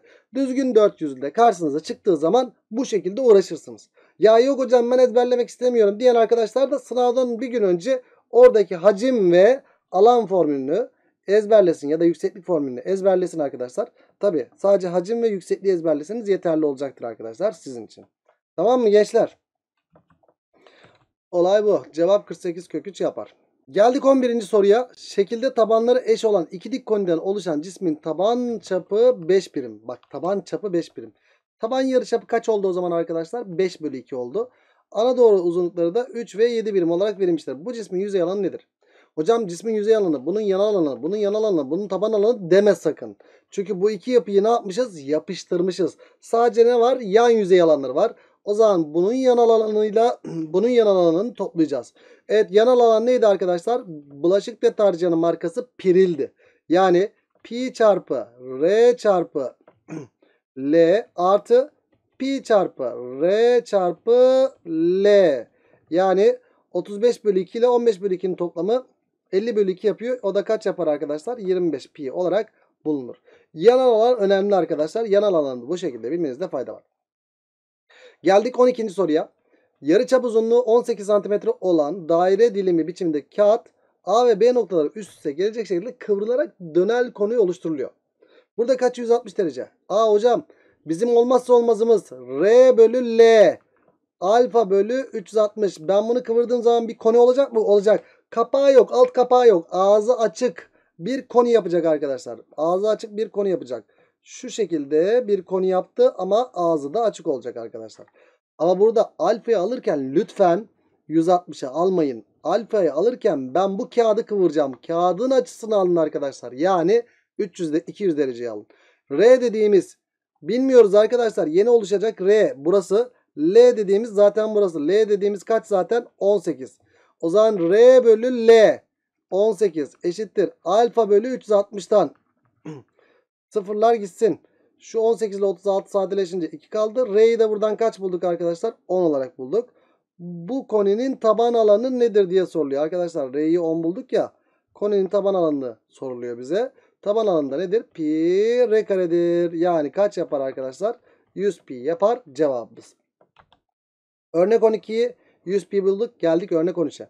Şekil 1'de verilen dik koni şekil 2'deki bir ana doğrusu üzerine yatırıldığında bu nasıl bir üçgendir zaten arkadaşlar? İkizkenar üçgendir diye söyledik. Yani yan ayrıtları birbirine eşit. 6 birimse burası da 6 birim. Hocam 6 birim Pisagor'dan şurayı bulurum. Hatta burada güzel bir şey çıktı. 90'ın karşısı 6 ise hangi açının karşısı 3'tür? 30'un. O zaman 60'ın karşısı kaç yapar? 3 kök 3 yapar burası. E hocam burada da koninin yarıçapı lazım bize. Koninin yüzey alanı isteniyor zaten bizden. E burası da yarıçap. R, R diyecek olursak 3 var. 3 kök 3 var. Şimdi dikkat. Burası Aa güzel bir şey çıktı aslında. 3 ve 3 kök 3'ten dolayı şey yapabiliriz aslında ama burada da dik tabanı iki eşit parçaya böldüğü için burası da burası da birbirine eşittir. Yani 2R eşittir. Alttan R'yi kaç buluruz arkadaşlar? 3. Yarı çapı 3 bulduk. Ee, bana ne lazım? Yüksekliği lazım. Yükseklik. Yükseklik. Koninin yüksekliği. E, yan ayrıtı zaten kaç bunun? 6. E, yan ayrıtı da 6 olduğuna göre ne oldu arkadaşlar? E, burası da 90'ın karşısı 6 ise 30'un karşısı 3'tür. Burası da kaç yapacaktır? Direkt 3 kök 3 yapacaktır zaten. Her şey çıktı meydana. Ya da bazı arkadaşlar burada Pisagor bağıntısı. Hani her zaman eşkenar çıkmayabilir. Yani Pisagor bağıntısından da yine R'yi 3 bulabilirsiniz arkadaşlar. Onunla da sıkıntı yok. Çünkü bazen bunlar eşkenar üçgen olarak çıkmayacak. İşimizi kolaylaştırdı sadece eşkenar üçgen olması. Koninin yüzey alanı, taban alanı pi r kare artı yanal alan piril. Pi çarpı r çarpı l. R çarpı l. Yani 9 pi artı 18 pi isteniyor bizden. O da 27 pi olarak bulunur sevgili gençler. 13. sorunun cevabı 27 pi yaptı. Geldik 14. soruya. Şekilde koni şeklindeki bir honi gösterilmiştir. Honinin yüksekliği 6 birim, taban yarıçapı 2 birimdir. Evet, honinin yüksekliği 6 birim, yüksekliği de kaçmış arkadaşlar? 2 birimdir. Taban yarıçapı 2 birim, yüksekliği 6 birimmiş. Pardon. Buna göre şişenin 10 birim yüksekliği e, bir de huni silindir şeklinde taban yarıçapı 4 birim, yüksekliği de 10 birim olan bir şeyi dolduracaktır. Tamam. Huni ile bunu dolduracakmışız. Buna göre şişenin 10 birim yüksekliğine kadar doldurulabilmesi için huni kaç defa doldurulup kolonya şişesine boşaltılmalıdır? Arkadaşlar yani V koniden kaç tane kullanırsam V silindir yaparım diyor bana. O zaman x tane V koni yani pi r kare koninin hacmi neydi? Pi r kare çarpı h bölü 3'tü. Silindirin hacmi neydi? Taban alanı çarpı yükseklikti. Yani pi çarpı 4'ün karesi çarpı 10'a eşit olacaktır. E o zaman arkadaşlar buradan ne geldi? e, sadeleştirmelerimizi yaptığımız zaman pi'ler nanay. 4'ten bir tanesi gitti. Şu şu gitti 2. 2 ile de 4 sadeleşti 2. Yani cevabımız da kaç yaptı o zaman arkadaşlar? 20 yaptı. Evet 14. sorunun cevabı 20 oldu arkadaşlar. Geldik 15. soruya. Şekilde düz bir zeminde bulunan dik konu biçimindeki iki tepe C noktaların C noktasında birbirine teğettir. Evet birbirine teğet. Tamam. Çemberler birbirine değince ne yapıyorduk? Merkezleri birleştiriyorduk. Bunlar ne oluyordu arkadaşlar? Doğrusal oluyordu. Evet buranın kaç olduğunu biliyoruz. Buranın 6 olduğunu biliyoruz. Buranın da 2 olduğunu biliyoruz zaten. Büyük tepenin taban yarıçapı 6 birim. İşte 2 yüksek, yüksekliğini de vermiş bize. O zaman yüksekliğini de kullanalım arkadaşlar. Taban yarıçapı 6 birim. Küçük tepenin yerden yüksekliği 4 birim. Küçük tepenin yerden yüksekliği 4 birim. Evet bana ne demiş arkadaşlar? Taban yarıçapı da 2 birim. Tamam. Tepelerin zirveleri arasındaki uzaklığı kaçtır diye soruluyor. Aa bir de hacimleri oranı 27'ymiş. E, o zaman arkadaşlar ben bunun hacmini bunun şunun hacmini şunun hacmini oranladığım zaman şuradaki yüksekliği bulayım. Yani pi r kare çarpı h bölü 3 yazamadım ya ben bunu be. Pi r kare çarpı ha, pi r kare çarpı h bölü 3 bölü pi r kare çarpı h bölü 3 eşittir kaçmış arkadaşlar? 27'ymiş. Hacimleri oranı 27'ymiş. Yani ben tam tersini yazdım arkadaşlar. Şuraya 1 bölü 27 yazmam lazım. Çünkü küçüğü büyüğü oranladım. Büyüğü küçüğü oranlamam lazımdı aslında. Neyse büyüğü küçüğü oranlayayım isterseniz arkadaşlar. 27 diyeyim de sıkıntı olmasın isterseniz. Pi e, r kare çarpı h bölü 3'e eşit olacak. Eşittir kaçmış? 27'ymiş. Şimdi oranladığım zaman pi'ler gitti mi arkadaşlar? Gitti. Bölü 3'ler gitti mi? Gitti. Şimdi 36 36 bölü 4 kaç yaptı? 9 yaptı. Ee, o zaman 4 ile burayı çarpacağım. 9h eşittir 4 çarpı 27 yaptı arkadaşlar. 27 yaptı. H da buradan kaç yaptı? 12 eşit oldu. H'ı 12 bulduk arkadaşlar. E zaten burası dik. Hocam burası da dik. Karşımıza bir dik yamuk çıktı mı arkadaşlar burada? Çıkmaz mı ya? Bizden şu uzunluk isteniyor. E biz ne yapıyorduk arkadaşlar dik yamukta? Tabii ki insan olan şuradaki diki çizer diyorduk değil mi? E çizdin. Buradaki diki çizince çünkü buradaki uzunluk isteniyor bizden. E, 4 ise burası da 4. 8 ise burası da 8. E, bunun tamamı 12 idi. Buraya da 8 kaldı. 8 8 ise burası da kaç yapar? 8 kök 2 yapar sevgili gençler. Yani cevabımız ne çıktı? Ceyhan çıktı arkadaşlar. Geldik 16. soruya. E, her türlüsünü anlatmıştım arkadaşlar. Burada da şimdi şeyi yapalım arkadaşlar. Açılışı önemli. A'dan başlayıp A'ya gelecek. Bak şimdi açılışı şu şekilde olmayacak mı? Önemli olan neresiydi? Bu A açıldığında burasının da A olması. Burası da B olacak arkadaşlar. Evet yarı çapımız kaç? 3. Bizim olmazsa olmazımız R bölü L alfa bölü 360. R dediğimiz 3 bölü 9 eşittir alfa bölü 360'tan. Alfamız kaç çıkacak? 120 derece çıkacak. Evet burası 120 derece olacak. Burası açıldığında şurası R yapıyor arkadaşlar. Burası da L olduğunu biliyoruz. L dediğimiz kaç? 9 olduğunu biliyoruz. Bizden de ne isteniyor arkadaşlar? A'dan başlayıp A'ya gidecek. Dümdüz gidecek. A ne çıktı? 9 9 kenar. Burası da 120 derece. Yani ne çıktı? 30 30 120 üçgeni. 9 9 ise burası da kaç çıkar? 9 kök 3 çıkar. En az gittiği yol 9 kök 3 olur arkadaşlar. 16. sorunun cevabı 9 kök 3 oldu. Geldik 17. soruya. Evet. ÖSYM de buna biraz takıntılı arkadaşlar. Ben de biraz takıntılıyım. Çok da severim. Silindirle koni aynı anda verildiğinde tabanları aynıysa ve yükseklikleri de aynıysa 1'e 3 oran vardır. Sebep. Mesela şunu düşünün arkadaşlar. Bunun hacmi hocam pi r kare çarpı h tabi bu nokta buraya gelmeliydi arkadaşlar. Şöyle olmalıydı. Neyse pi r kare çarpı h bölü 3. Bunun hacmi de pi r kare çarpı h. Pi r kare çarpı h bölü 3 ile sen pi r kare h'ı oranladığın zaman 1 bölü 3 mü geliyor? Evet. O yüzden sen şunu bil. Tabanları aynı, yüksekleri aynı olan koni ve silindirde hacimler oranı 1 bölü 3. Aşırı derecede işimize yarıyor. Aşırı derecede işimize yarıyor. Dikkat. E o zaman hocam ben şimdi soruyu iyice okuyayım. Bakayım ne diyor soru. Şekil 1'de bir dik silindir ile tepesi aşağı doğru bakan bir dik koni gösterilmiştir. Silindir içinde koninin tepe noktasına kadar şuraya kadar su bulunmaktadır. Cisim şekil 2'deki gibi ters çevrildiğinde silindir içindeki su yine koninin tepe noktasına kadar gelmektedir. AB uzunluğu 30 birim koninin yüksekliği kaçtır diye soruluyor arkadaşlar bize. Ben şunu biliyorum arkadaşlar. Şurası V iken Bunun hacmi ne oluyor demiştik silindirin hacmi? 3V. Aa hocam suyun hacmini ne bulduk? 2V bulduk. Süper. Suyun hacmi 2V. Koninin hacmi V.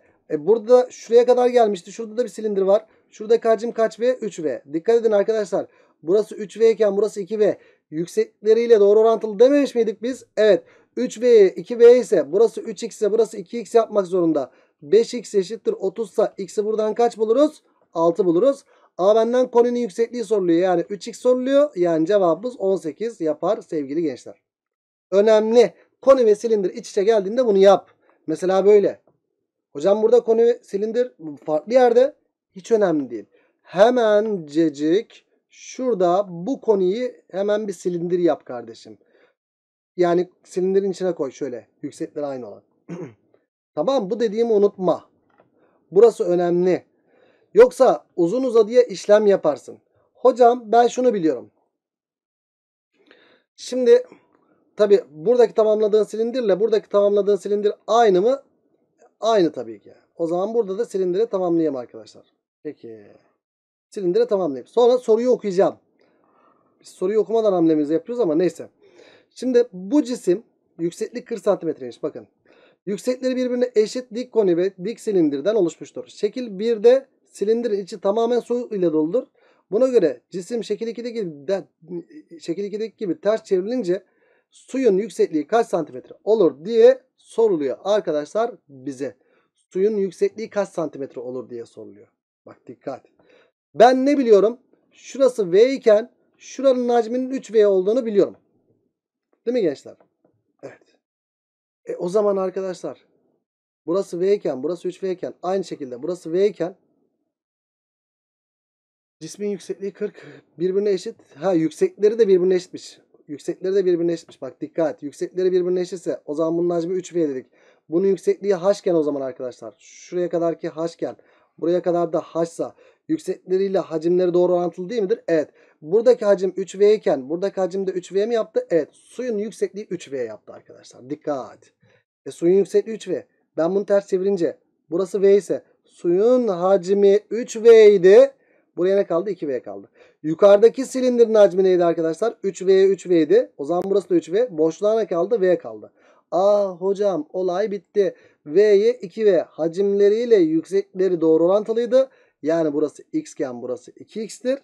E hocam bununla bunun yüksekliği aynı zaten. Yani burası da 3x. Toplamda 6x 40'a mı eşit? Evet. 6x 40'a eşitse x buradan ne yapar arkadaşlar? E, 2'ye bölsen 20, 2'ye bölsen 3. 20 bölü 3 yapar. Benden ne isteniyor? Suyun yüksekliği isteniyor arkadaşlar. Suyun yüksekliği de nedir? 5x isteniyor. O da 100 bölü 3 olarak bulunur sevgili gençler. Bak unutmayın. Bir yere okumadım. Neredeyse sıkıntı yaşıyordum. Niye? Yüksekleri eşit demiş ya. Yüksekleri de eşit olduğu için buradaki silindirdeki hacim 3V iken burası da 3V oldu. Suyun hacmini 3V buldum. Koninin hacmi V. E, v ise buraya 2V kaldı. E, yukarıdaki silindir yani şurası 3V'ydi arkadaşlar. E, buraya V kaldı. O zaman arkadaşlar V'ye 2V'den dolayı X'e 2X yazdık. E, bu yükseklikleri de eşitti. Burası da 3X oldu. Ve kendiliğinden cevap çıktı. Bu şekilde gençler ne yapıyorsunuz? Silindire tamamlayın.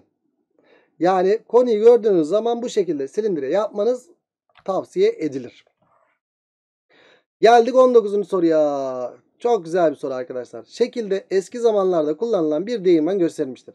Değirmen iki parçadan oluşmaktadır. Üstte kalan öğütücü taş taban yarıçapı 3 birim olan evet şurası 3 birim olan ana doğrusu da 15 birim o uzunluğunda bir koni şeklindedir.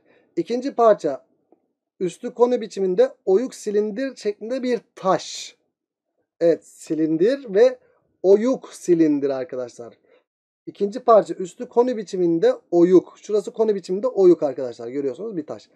Oyun ana doğrusu ile koni biçimindeki taşın ana doğrusu çakışıktır. Yani 15. Yani buradaki ana doğrusu da kaç yaptı arkadaşlar? 15 yaptı. Koni biçimindeki taşın harekete başladıktan sonra başladığı noktaya dönebilmesi için en az 4 tur atması lazım. E bu 4 tur attıysa bunun çevresini 4 defa burayı sardı arkadaşlar. O zaman bunun çevresi bunun yarıçapına R diyecek olursam arkadaşlar bunun çevresini 4 defa sardı. Değil mi? Yani bunun 4 defa yani 4 tane 2 pi R neye eşit olacaktır? 2 pi R'ye eşit olmak zorunda. Niye? Çünkü bunun çevresinin 4 tanesi tam böyle dönüp dolaşıp buraya geliyormuş arkadaşlar. O zaman buradaki R'yi kaç bulduk arkadaşlar? 12 mi bulduk? Evet. R buradan 12 geldi. Arkadaşım R'yi 12 bulduk mu? Bulduk. E ben içteki koninin de yüksekliğini bulabilirim. 12, 15 ne üçgeni? 9, 12, 15'ten 9 çıktı.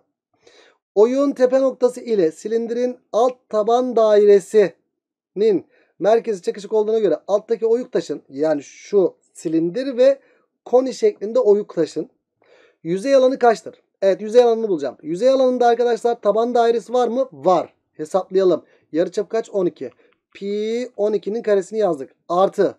Silindirin üst taban dairesi var mı? Yok. O çok çünkü çıktı. Silindirin yanal alanı var mı? Var. Silindirin yanal alanı neydi hocam? Açıldığında buranın 2 pi r olduğunu söylemiştik. Burası da h. Değil mi? Silindiri açtığımız var. 2 pi r'si kaç bunun arkadaşlar? 12. Bu yanal alanı buluyorum. 12 çarpı yüksekliği kaç? Yüksekliği de zaten 9 bulduk. Sonra artı içeride de yukarıda da bak daire yok ama koni şeklinde oyuk. Koninin yanal alanı yok mu arkadaşlar burada? Var. Yani bu da nedir? Piril. Pi çarpı R çarpı L. L'si de kaç? 12 değil 15. İşte burası 144 pi artı e, burası kaç yaptı arkadaşlar? 24 ile 9'u çarpsan 24 ile 9'u çarpsan 4 kere 9 36 9 18 216 216 pi artı 15 ile de 12'yi çarpsan 6 ile 90 180 pi yapıyor burası. Topladığımız zaman 216 ile 144'ü toplasan 216 ile 144'ü toplasan burası 0 5 6 360 mı yapıyor? Evet 366 e, artı 180'den 540 pi olarak cevabı buluruz sevgili gençler. Evet cevabımız ne çıktı? 540 pi olarak bulundu. Güzel bir soru. Hoş bir soru. Ne yaptık? Taban alanını yazdık. Artı silindirin yan alanını yazdık. Artı koninin yan alanında içeriden oyuk onu ekledik. Üst tabanını yazmadım çünkü üst taban diye bir şey yok arkadaşlar silindirde. Tamam. Geldik şuraya. Kesik koni arkadaşlar. Kesik koni ile ilgili çok ilginç sorular karşı yazdım arkadaşlar buraya. Bakın koni ile ilgili gerçekten güzel sorular var burada. O, ne yapıyorduk kesik konide? Benzerlik yapıyorduk. Şekilde kesik koni şeklindeki saksının taban yüzeyinde e, dik duracak biçimde bir fidan verilmiştir. Bir kere kesik koni olduğu zaman biz şekli ne yapıyoruz? Tam koniye tamamlıyoruz arkadaşlar. Bunu sakın ama sakın unutmayın. Tam koniye tamamladım. Eyvallah. Fidanın boyu 12 olarak verilmiş. Saksının taban yüzeyi ile üst yüzeyinin yarıçapları 3'e 6. Evet yarıçapı kaçmış arkadaşlar? Buranın 6. Buranın kaç verilmiş? 3 olarak verilmiş. E benzerlik oranı kaç çıktı arkadaşlar? 3 bölü 6. 1 bölü 2. Yani şu parça ile şu parça birbirine eşit oldu mu? Oldu. 3'e 6'dan dolayı 1'e 2 oran oldu. Yani orta taban çıktı. Bunlar da birbirine eşit oldu. Eyvallah. Burada da sıkıntı yok. Saksının hacmi. Kesik piramidin hacmi. Ama hacmi bulurken ne yapıyoruz arkadaşlar? Tabii ki benzerlik hacim ilişkisini yapıyoruz. Benzerlik oranı kaç? 1 bölü 2. 1 bölü 2'nin kübü kaç? 1 bölü 8. Yani burası V iken burası kaç V yapıyor arkadaşlar? 7V yaptığını hep söyledik. Saksının hacmi 7V'yi kaç vermiş? 84 pi olarak vermiş. V buradan kaç yapıyor o zaman arkadaşlar? Ee, 10, 12 mi yapıyor? Evet 12 pi olarak bulundu. V 12 pi arkadaşlar. Tamam. Fidanın saksı dışında kalan kısmının boyu. Benim burada yüksekliği bulmam lazım. E, V'yi biliyorum ben. V'yi biliyorsam şöyle bir yüksekliğe H diyeyim arkadaşlar. Şu yükseklik H. Yani hacim biliyorum ya. V eşittir 12 pi. O da pi r kare çarpı H bölü 3. Pi r kare. 3'ün karesi çarpı H bölü 3'e eşit olmak zorunda. 36 bölü 9'dan 4 geldi. H'ı buradan kaç bulduk? 4 bulduk. Evet H burası 4. E hocam bunlar birbirine eşitse o zaman burası da 4. Şunların da birbirine eşit olması lazım. E bunun tamamı 12 idi. 4'ü buradaysa o zaman buraya da kaç kaldı arkadaşlar? 8 kaldı. Yani cevabı 8 yapar arkadaşlar. Kesik konide ne yapıyoruz? Tamamlıyoruz arkadaşlar. Bunu sakın ama sakın unutmayın. Geldik 21'e. AE uzunluğu K iken EC uzunluğu 2K verilmiş. Süper. Benzerlik hacim ilişkisi. Benzerlik oranı kaç arkadaşlar? 1 bölü 3. Kübü 1 bölü 27. V iken 26V yapacak burası unutma. Peki Aa hocam ne yapmışız? Alttaki cismi ters çevirip üstteki koninin içine yapıştırılmış. Cismin içine de koninin tepe noktasına kadar su doldurmuş. Oo koninin tepe noktasına kadar su doldurmuş. Yani ben bunu şöyle tamamladığım zaman bunlar özdeş değil mi arkadaşlar? Özdeş. Evet şununla şunun yüksekliğiyle bunun yüksekliği aynı olduğu için e burası K ise burası 2K'ydı. Yükseklikleri de birbirine eşit olduğu için burası da K oldu. O zaman burası da K olmadı mı arkadaşlar? Oldu. E olay bitti o zaman. Ben burada benzerlik yapayım isterseniz. Buradaki hacim ne? 1 bölü 2. 1 bölü 2'nin kübü kaç arkadaşlar? 1 bölü 8. E zaten ben ne dedim arkadaşlar? Şurası V iken tamamı 27V. 26V kaldı buraya. Çok güzel. Burası V iken burası da V zaten. İçindeki boşluğa ne kaldı? Suya ne kaldı o zaman arkadaşlar? Burası 7V yapacaktı ya dikkat. Burası V iken burası 7V. E burada da V'si var. Araya boşluk konulmuş arkadaşlar. Buraya 6V'ye kalacak. Çünkü bunun tamamının 7V yapması lazım. 6V kaldı. E, kullanılan su 24 birim küp. Yani 6V'yi 24 birim küp vermiş. 6V 24 birim küpse. V buradan kaç geldi gençler? 4 geldi. Şekil 1'deki konunun hacmi yani 27V isteniyor bizden. 27 çarpı 4'ten 4 kere 28 4 kere 2 8 yani cevabımız 108 olarak bulunur arkadaşlar. Çünkü şekil 1'deki konunun hacmi 27V olduğundan dolayı. Tamam. Geldik buraya. Evet. Ne yapacağız? Ben bundan bir konu yapmışım. E, konu olduğu zaman ne olacak arkadaşlar? Bakın şeyde bahçeye gelen kuşlar için e, bir su kabı tasarlıyor. Bunun için O merkezi dairesel bir plastikten 120 derece olacak şekilde AOB dilimini kestikten sonra işte 6 birim 6 birim işte 3 birim 3 birim olacak şekilde şekil 1'deki gibi iki parçaya ayırıp sarı ve kırmızıya boyuyor. Daha sonra CDO diliminden bir konu yapıyor öbüründen de bir kesik konu yapıyor. Ben hepsinden bir konu yapmış olsaydım ne olacaktı arkadaşlar? Hepsinden bir konu yapmış olsaydım bu şekilde olacaktı. Yani şu kesik konuyu ne yapmış arkadaşlar? Şu alttaki kesik konuyu ters çevirmiş. Yukarı doğru ters çevirmiş. Öyle düşünün. Yani burası da kaç? 3. Hocam burası 6 idi. E, o zaman burası 3 ise şuradaki yüzeye kadar olan kısmı burası da 3 olmalı arkadaşlar. Değil mi? O zaman burası da kaç olacak arkadaşlar? 3 birim olacak. Çünkü tamamı 6 ya. Yükseklik olarak düşünebilirsiniz arkadaşlar. Bakın şöyle bir yükseklik düşünseniz. Şöyle bir yükseklik düşünseniz. Hocam bunun yüksekliği h'sa. Bakın dikkat. Şunun yüksekliği h'sa. Buranın yüksekliği 2h. Çünkü e, şeyde benzerlik oranı 2'ye 1 şeklinde olacak değil mi? 6'ya 3 ya. Evet h ise 2h olacak. E ben bunu aldım ters çevirdim. Bunun yüksekliği buraya kadar da yine h. O zaman burada ne olacak? h'a 2h'da o zaman burasında h olmak zorunda arkadaşlar. Peki. Ben burada güzel bir şey buldum arkadaşlar. Şimdi ne yapacağız burada arkadaşlar? Dur bakalım okuyalım. Bunun içine de su dolduruyoruz. Oo süper. Ee, şeyda yaptığı su kabındaki suyun hacmi CO2 diliminde yaptığı hacmine oranı nedir diye soruluyor arkadaşlar. Şimdi öncelikle ne yapacağız arkadaşlar? Bizim R bölü L alfa bölü 360'tan yarıçap bulabilir miyiz? Bulabiliriz. Şunu konu yaptığımızda yarıçap bulabiliriz. Ee, en büyüğüne bakalım arkadaşlar. En büyüğü 9. Pardon e, ben bunu şey yapacağım. Taban dairesi yok orada ama R, R'yi bilmiyoruz. R bölü L, L'yi biliyoruz. R bölü 9 eşittir alfa bölü 360'tan. Alfa bölü 360. 120 bölü 360'tan. 3'te birinden dolayı R'yi kaç bulduk arkadaşlar? R'yi 3 bulduk. Öbürünün yarıçapı kaç oluyor arkadaşlar? Öbürünün yarıçapı da R bölü 6. 3'te 1'i 2 yapacak. Şuradaki yarıçap da 2 yapacak arkadaşım. Hatta tamam. 2 yaptı. Süper bir şey. Şimdi 2 bölü 3 benzerlik oranı var mı? Var zaten. Ha, benzerlik yüksekliklerde şey dedik ama şurasında 2 yaptığı da belli. Ee, burada R bölü 6 eşittir 120 bölü 360'tan da e, buradaki R'ye kaç geldi arkadaşlar? 3 geldi. Buradaki R'ye kaç geldi arkadaşlar? 2 geldi. Evet 2'ye 3'ü o şekilde bulduğumuzu da gösterelim isterseniz. Şimdi burada önemli olan şunun hacmi. Yani ben şurada yan tarafa çizi vereyim isterseniz. Şöyle bir şey var arkadaşlar. Bakın bir konu. Altta bir konu var. Aslında bir de üstte de şuraya kadar su dolduracağım ya. Orası da önemli benim için. Oraya kadar su dolacak çünkü. H yüksekliğine kadar su dolacak. Yani burası eşit. Burası da eşit. Burası da eşit. Ben bunların hacimlerini bulayım. 1 bölü 2 oran var değil mi burada? Var. 1 bölü 2'nin kübü kaç yaptı arkadaşlar? 1 bölü 8. V iken 7V yapacak burası. Arkadaşım şimdi burası 1 bölü 3 benzerlik oranı var değil mi? Bir de 1 bölü 3 benzerlik oranı var. 1 bölü 3'ün kübü kaç yaptı? 1 bölü 27. Hocam V iken tamamı 27V. O zaman buraya kaç V kaldı? 19V kaldı arkadaşlar. He, şunun tamamı 19V iken şurada yalnız şuradaki kısımda yani buraya su dolmuyor arkadaşlar. Buradaki kısmı zaten ne buldum? 7V bulmadım ben. O zaman burası ne yaptı? 19V. Bakın şunun tamamı 19V. 19V'den neyi çıkartmam lazım arkadaşlar? 19V'den 7V'yi çıkartmam lazım. O zaman bu aradaki boşluğa suya ne kaldı arkadaşlar?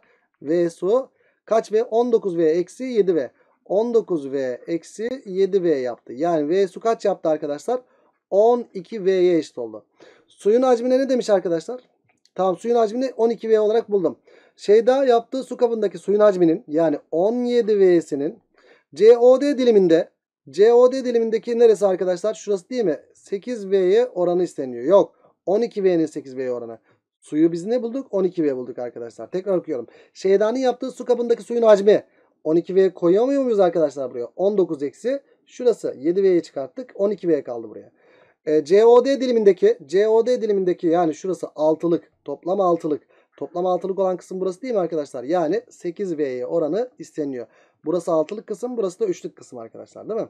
Evet altılık kısımda 8V yaptı. 12 bölü 8 de kaç yapar? 4'e bölsen 3. 4'e bölsen 2. Cevabımız kaç çıktı arkadaşlar? 3 bölü 2 olarak bulundu. Güzel bir soru. Hoş bir soru.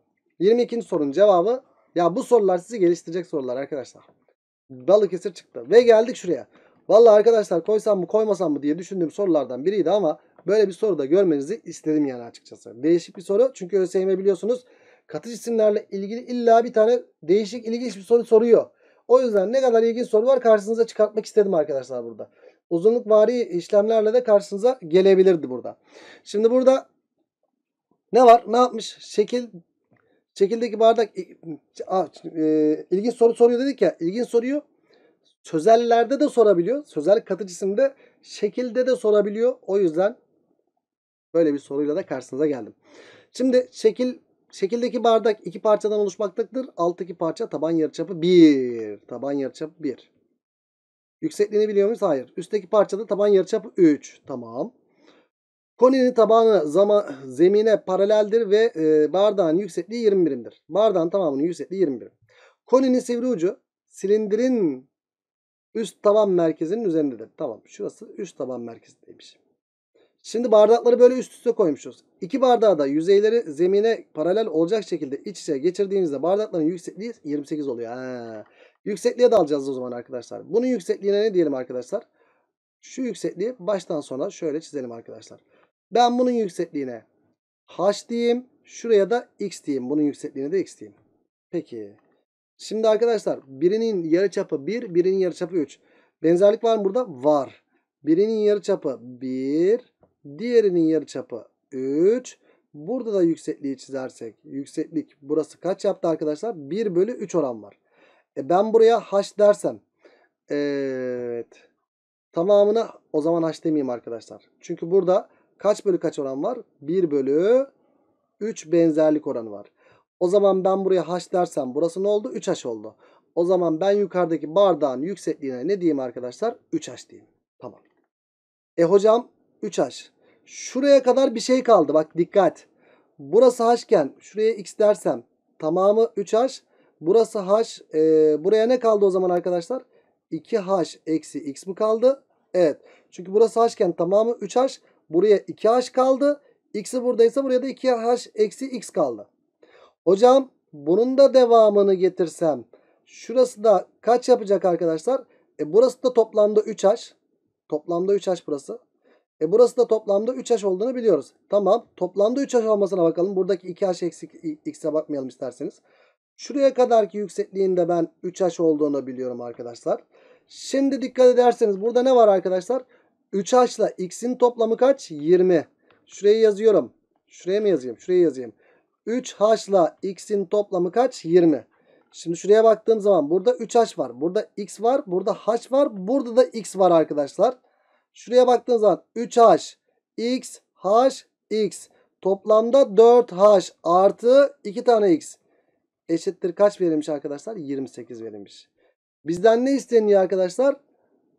Parçaların hacimleri. H'ı da bulmalıyım. X'i de bulmalıyım. 2 bilinmeyen iki denklem. Ben bunu eksi 2 ile çarpıp taraf tarafa toplarsam arkadaşlar. Haydi bakalım. Eksi 2 ile çarpıp taraf tarafa toplarsam. Topladığımda eksi 6h artı 4h. Eksi 2h. Bunun x'ler gitti. Eksi 40 artı 28 eksi 12 yapıyor arkadaşım. H'ı buradan kaç bulduk o zaman? 6. Bir denklemde h yerine 6 yazarsak mesela burada h yerine 6 yazdığımız zaman 18 x de ne geliyor arkadaşlar? 2 geliyor.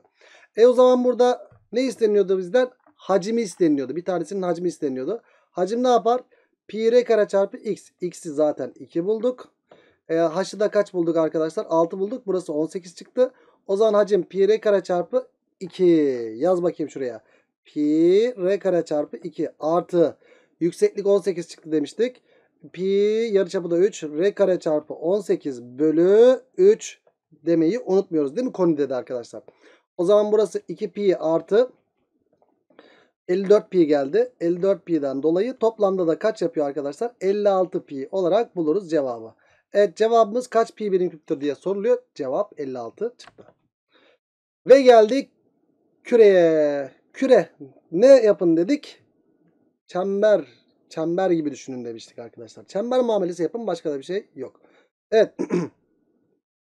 Yandaki yarım küre şeklindeki buradaki şey tam böyle sığdıramamışım buraya. Çikolatanın yarı çapı 3 birimdir. Evet çikolatanın yarı, yarı çapı kaç birim arkadaşlar? 3 birim. Buna göre çikolatanın yüzey alanı kaç pi'dir diye soruluyor. Aa hocam yarım küre olduğu için 4 tane pi r kare bölü 2 derseniz yanılırsınız. Çikolatanın yüzey alanı soruluyor. Yarım kürenin yüzey alanı değil. Yarım küredeki o yüzeydeki şey değil. Bir de ne var arkadaşlar? Şuradaki daire de var. Yarım kürenin yüzey alanı orası. Bir de tabanda da ne var arkadaşlar? Bir yarım küre var. Artı pi r kare demeliyiz burada. Yani 3 tane pi r kare yapar. Yani 3 tane pi r kare kaç yaptı? 27 pi olarak bulundu arkadaşlar. Yani yarım küre çıktığı zaman alttakini de almayı unutmayın. Yarım kürenin yüzeyi sorulsa tabanı hariç dese tamam 4 pi r kare bölü 2 diyebilirsiniz arkadaşlar. Evet cevabımız 27 pi yaptı gençler. Geldik 25'e. Yarıçapı kök 13 olan küre. Evet ÖSYM'de sever bu dili. Bir küreyi çizeceksiniz arkadaşlar sözel. Ne yapacaksınız? Küreyi çizin. Ben size ne dedim? Her küreyi, her şeyi e, şeklini çizin. Her katı cismin şeklini mutlaka çizin arkadaşlar. Alıştırın kendinize. Bir küre birbirine paralel iki düzlemde kesildiğinde elde edilen kesit alanları 9pi ve 4pi'dir. Kesitler arasındaki uzaklık en az kaçtır? E ben bunları kestiğim zaman arkadaşlar kesitler biri yukarıda biri aşağıda olabilir. Ya da her ikisi de yukarıda olabilir. Ya da her ikisi de aşağıda olabilir arkadaşlar. O yüzden burada ne almak lazım? Birisi 4pi'miş. Yani birisi 4pi. Şurada alalım arkadaşlar. Birisi de 9pi'miş. O kesit de burada alalım. Kesitler her zaman ne oluyor dedik? Daire şeklinde oluyor dedik.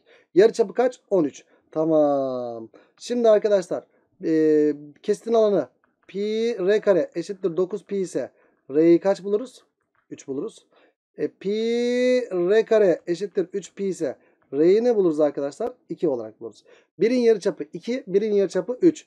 Birin yarıçapı 3, büyük olan 3, küçük olan kaç? 2 olarak yazdığımız an. 2'ye 3 olarak yazdığımız an.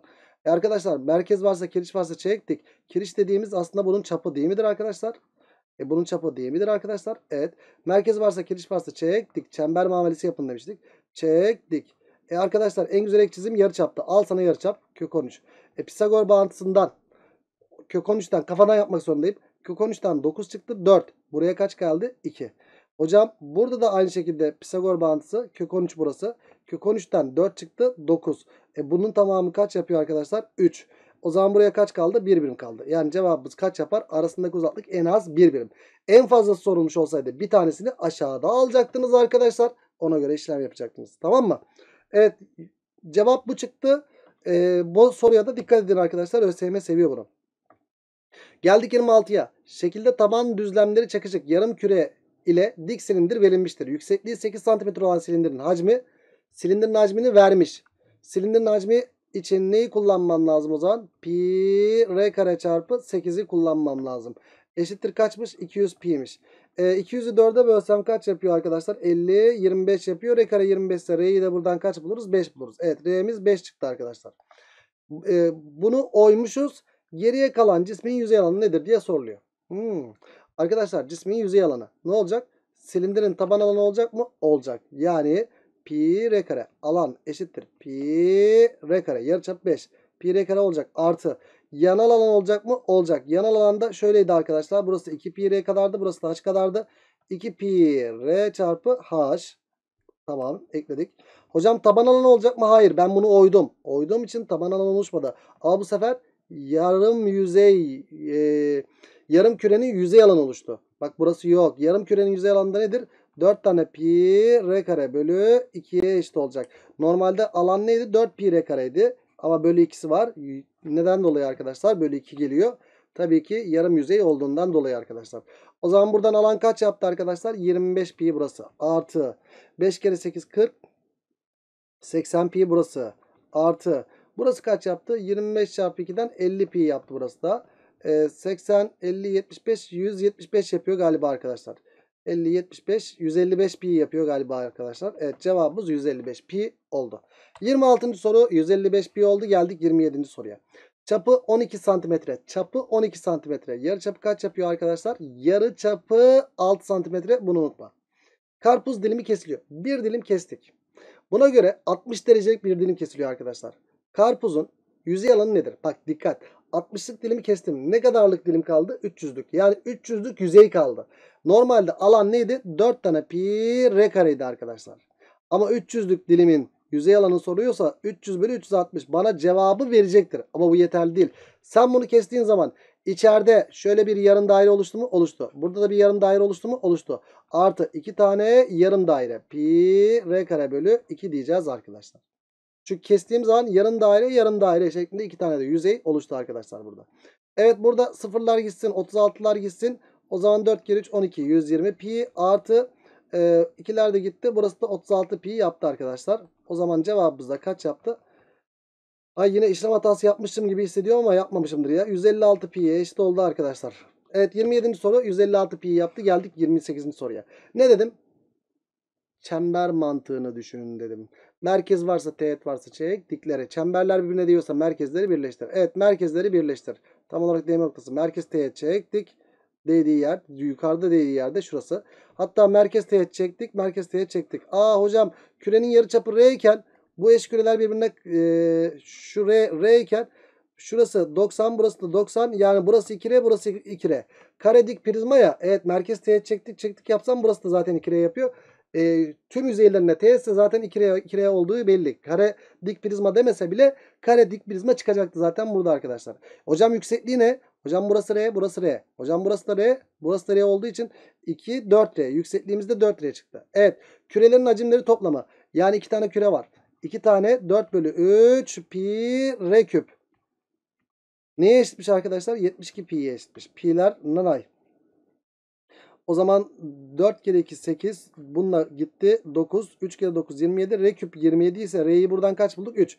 Dik prizmanın yüzey alanı nedir diye soruluyor. R 3 ise burası kaç çıktı? 6. Burası kaç çıktı? 6. R 3 ise burası kaç çıktı? 12. Herhangi bir şekilde dik prizma, kare dik prizma, işte dikdörtgenler prizması falan filan geldiği zaman şey yapabiliyorduk arkadaşlar. Ne yapıyorduk? 6, 6 ve 12'yi yazıp dikdörtgenler prizmasında yapıyorum ben bunu. Kenarların ikişerli çarpımını bir de 2 ile çarpıyorum. 6 kere 6 36. 2 ile çarp 72. 6 kere 12 72. 2 ile çarp 144. Artı 6 kere 12 72. 2 bir daha 2 ile çarp 144. Dikdörtgenler prizmasında yapıyordum bunu ama kare dik prizmada da yapabiliriz. Kare dik prizmada hocam taban alanı 36'dan 2 tane var deyip 6 çarpı 12'den de 4 tane var diyebilirsiniz de. Hiç sıkıntı değil. Evet 288 artı 72 yapıyor. O da 260 mı yapıyor? Yok 360 yapıyor galiba arkadaşlar. Evet cevabımız o zaman 360 yapar. 28. sorunun cevabı. Geldik 29'a. Evet güzel bir soru. Şekilde yarım küre şeklindeki saksının içinde bulunan toprağın yüksekliği 2 cm'dir. Toprak kısmının üst, üstüne alanı üstüne alanı 16 16 pi santimetre kare olan daire şeklindeki bir kağıt konularak He, buraya 16 pi santimetre kare bir kağıt konularak toprak kısmı tamamen örtülüyor. Tamam. Yani bu üst yüzeyin alanı ne demiş arkadaşlar? 16 demiş. Pi r kare eşittir. 16 pi ise r'yi buradan kaç bulduk? 4 bulduk. Evet buranın yarıçapı kaç arkadaşlar? 4. E ben kürenin yarıçapına şey dersem merkez varsa teğet varsa ne diyorduk? Çektik diyorduk. Hatta merkez varsa kiriş varsa da çektik oldu. Çünkü niye? Zaten burası da kiriş. Zaten burası 90 burası da 90 doğrusal olacağı buradan da belli oluyor arkadaşlar. E burada merkez kiriş çektik yapmış olduk. Tamam. Burası 2 birim. Eyvallah. Ben buraya A dersem yarıçap uzunluğu ne oldu kürenin? A artı 2 oldu. Yarıçap bilgisi çok önemlidir. En güzel çizim nedir? Yarıçap. Al sana yarıçap. A artı 2. Al sana Pisagor. Ya insan öğrenciler siz hala buradan mı yapıyorsunuz? A'nın karesi artı 4'ün karesi. İşlem işlem işlem. A'yı bulursunuz. Ya 4 varsa ne üçgendir büyük ihtimalle? 3, 4, 5 üçgendir. A'yı buradan kaç buldunuz? 3 buldunuz. Ee, ihmal edildiğine göre saksının hacmi kaçtır? Saksı nedir? Yarım küre değil midir arkadaşlar? Yarım kürenin hacmi soruluyor. Yani 4 bölü 3 hacim. Şuraya yazıyorum.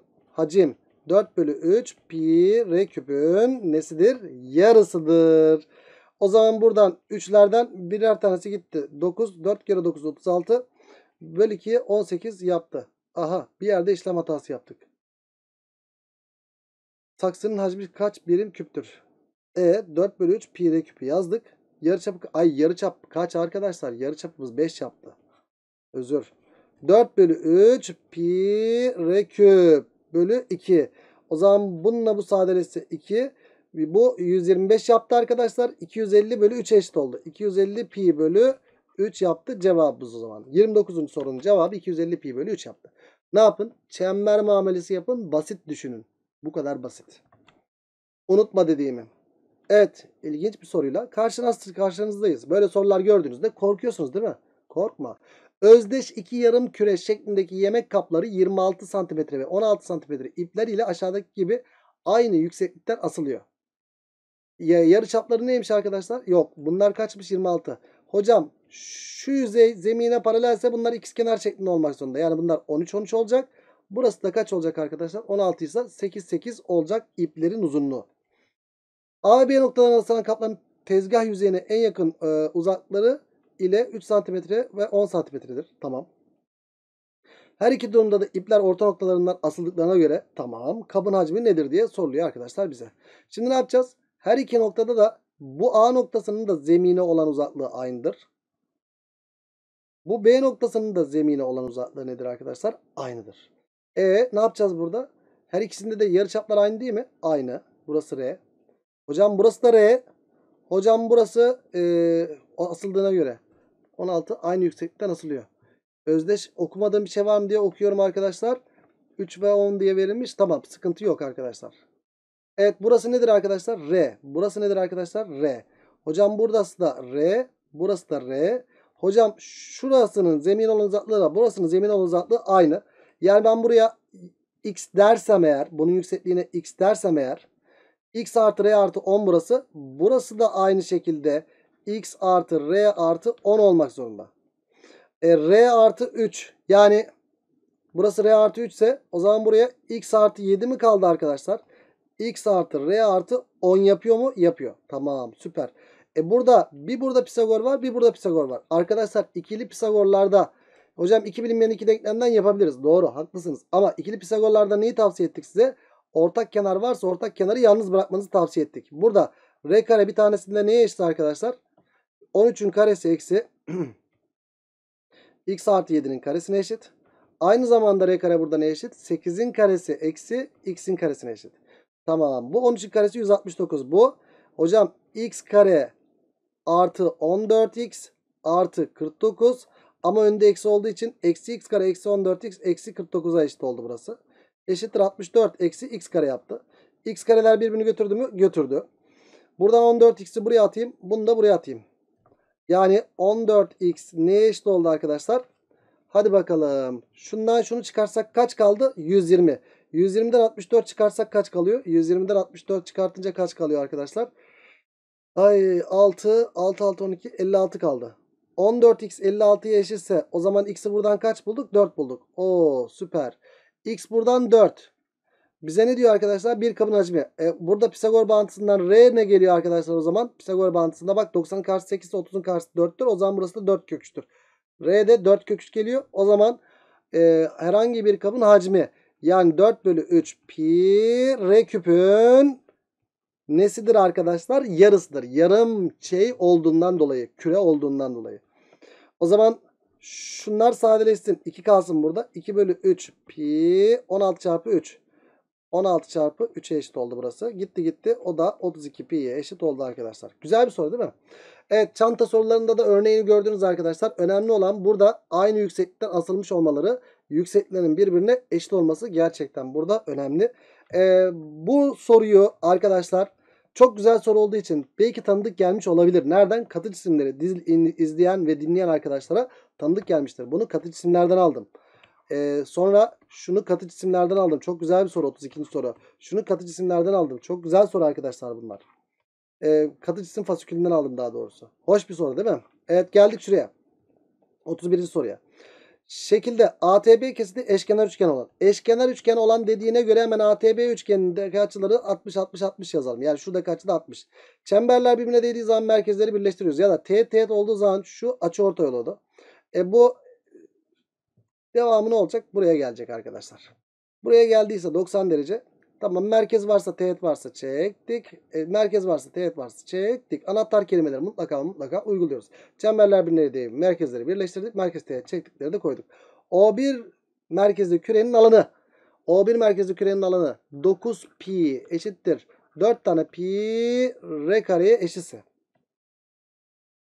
Buradan pi'ler nanay oldu. R kare 9 bölü 4'ten R'yi kaç bulduk? 3 bölü 2 olarak bulduk. Evet R 3 bölü 2. Nerenin? O1 merkezinin. 3 bölü 2 burası. 3 bölü 2 burası. Hocam burası da 3 bölü 2. Hocam burası R. Hocam burası da R. O teğet teğet olunca bu açı ortay olacak. Hatta eşkenar üçgen yüksekliği.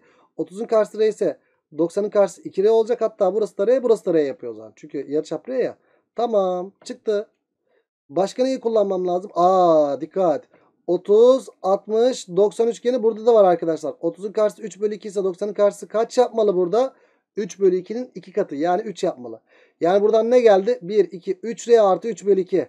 3R artı 3 bölü 2 eşittir. Kaç yapacaktır arkadaşlar? 3'e eşit olacaktır. 3R eşittir 3 bölü 2 yaptır. R'yi de buradan kaç bulduk? 1 bölü 2 bulduk. O iki merkezli kürenin hacmi. R'yi kaç bulduk? 1 bölü 2 bulduysak. Kürenin hacmi ne yapar arkadaşlar? 4 bölü 3 pi 1 bölü 2'nin kübü yapar. O zaman 4 bölü 3 pi 1 bölü 8 yaptı. O zaman burası da kaç yaptı arkadaşlar? 8 dedi 4 sadeleşince 2 kaldı. Yani pi bölü 6'ya eşit olur arkadaşlar cevabımız. Çember muamelesi yapın. Başka da bir şey ya istemiyoruz arkadaşlar. Merkez teğet çektik. Bu hamleleri mutlaka mutlaka uygulayın. Ve geldik mükemmel bir soruya daha. Vallahi arkadaşlar mantığı çok güzel bir soru. Bu soruda da Kemal hocamız, Yılmaz Kemal Yıldız hocamızın yazdığı bir soru. Gerçekten çok hoş bir soru. Tam böyle sınav ayarında bir soru diyebilirim. Yani bence burayı izlemeye geldiyseniz bir daha şöyle bir deneyin. Şunu düşünün. Hacmi kadar su kaldırır. Tamam mı? Bir cismin içine bir şey attığınız zaman hacmi kadar su kaldırır. Bir de dikkat edin.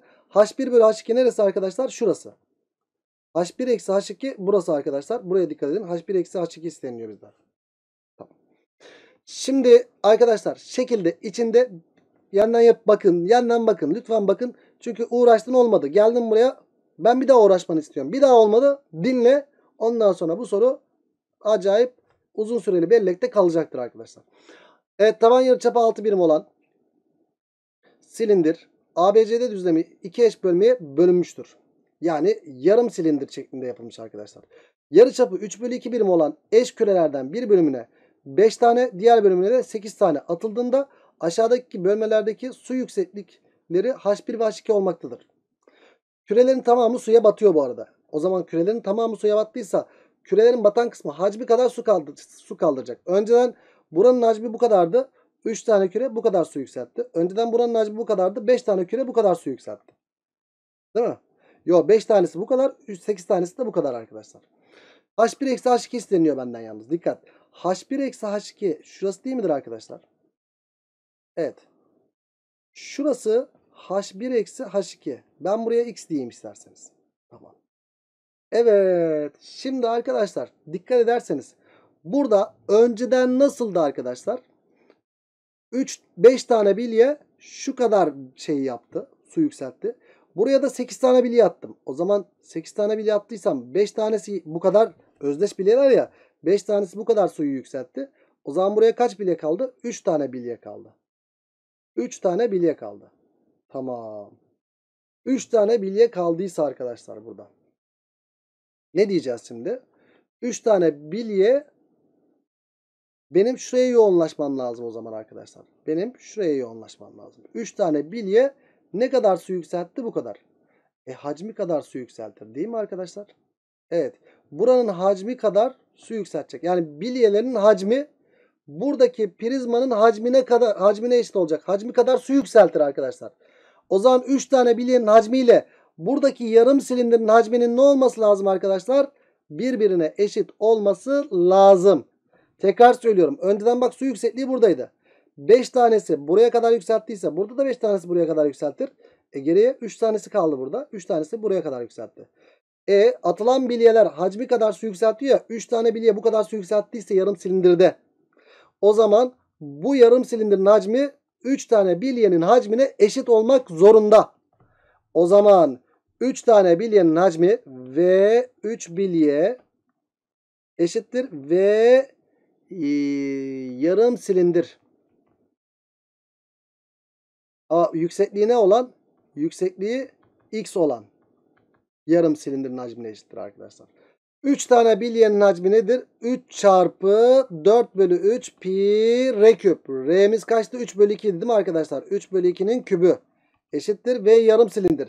Silindirin yarıçapı kaç verilmişti arkadaşlar? Bakıyoruz. 6 birim verilmişti.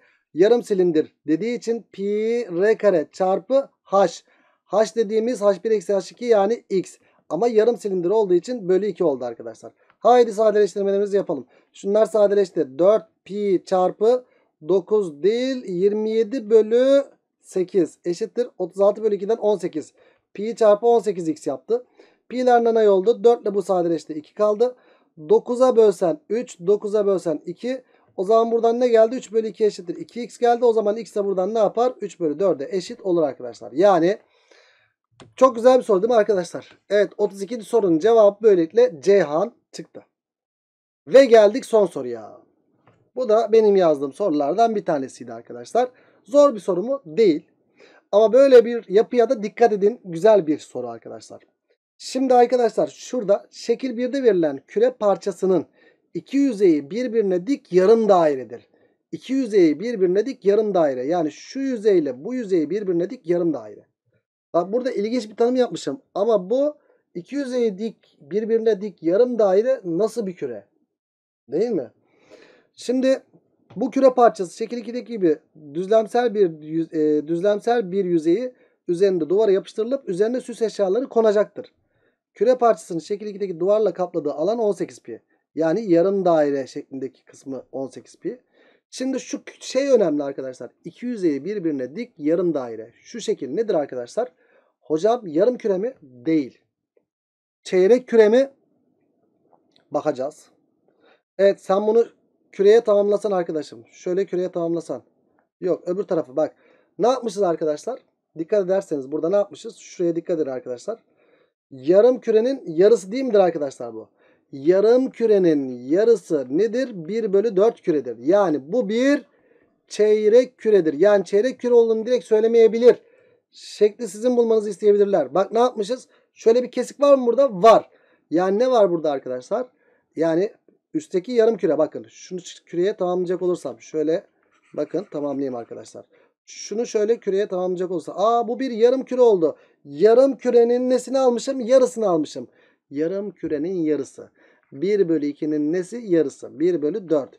Yani nasıl bir küre arkadaşlar? Bu çeyrek küre. Çeyrek küre olduğunu buldum. Şimdi ben bunun yarıçapına R diyecek olursam. Yarım daire şeklindeki kısmı duvarda kapladığı alan. Yani pi r kare bölü 2 eşittir 18 pi ise arkadaşlar.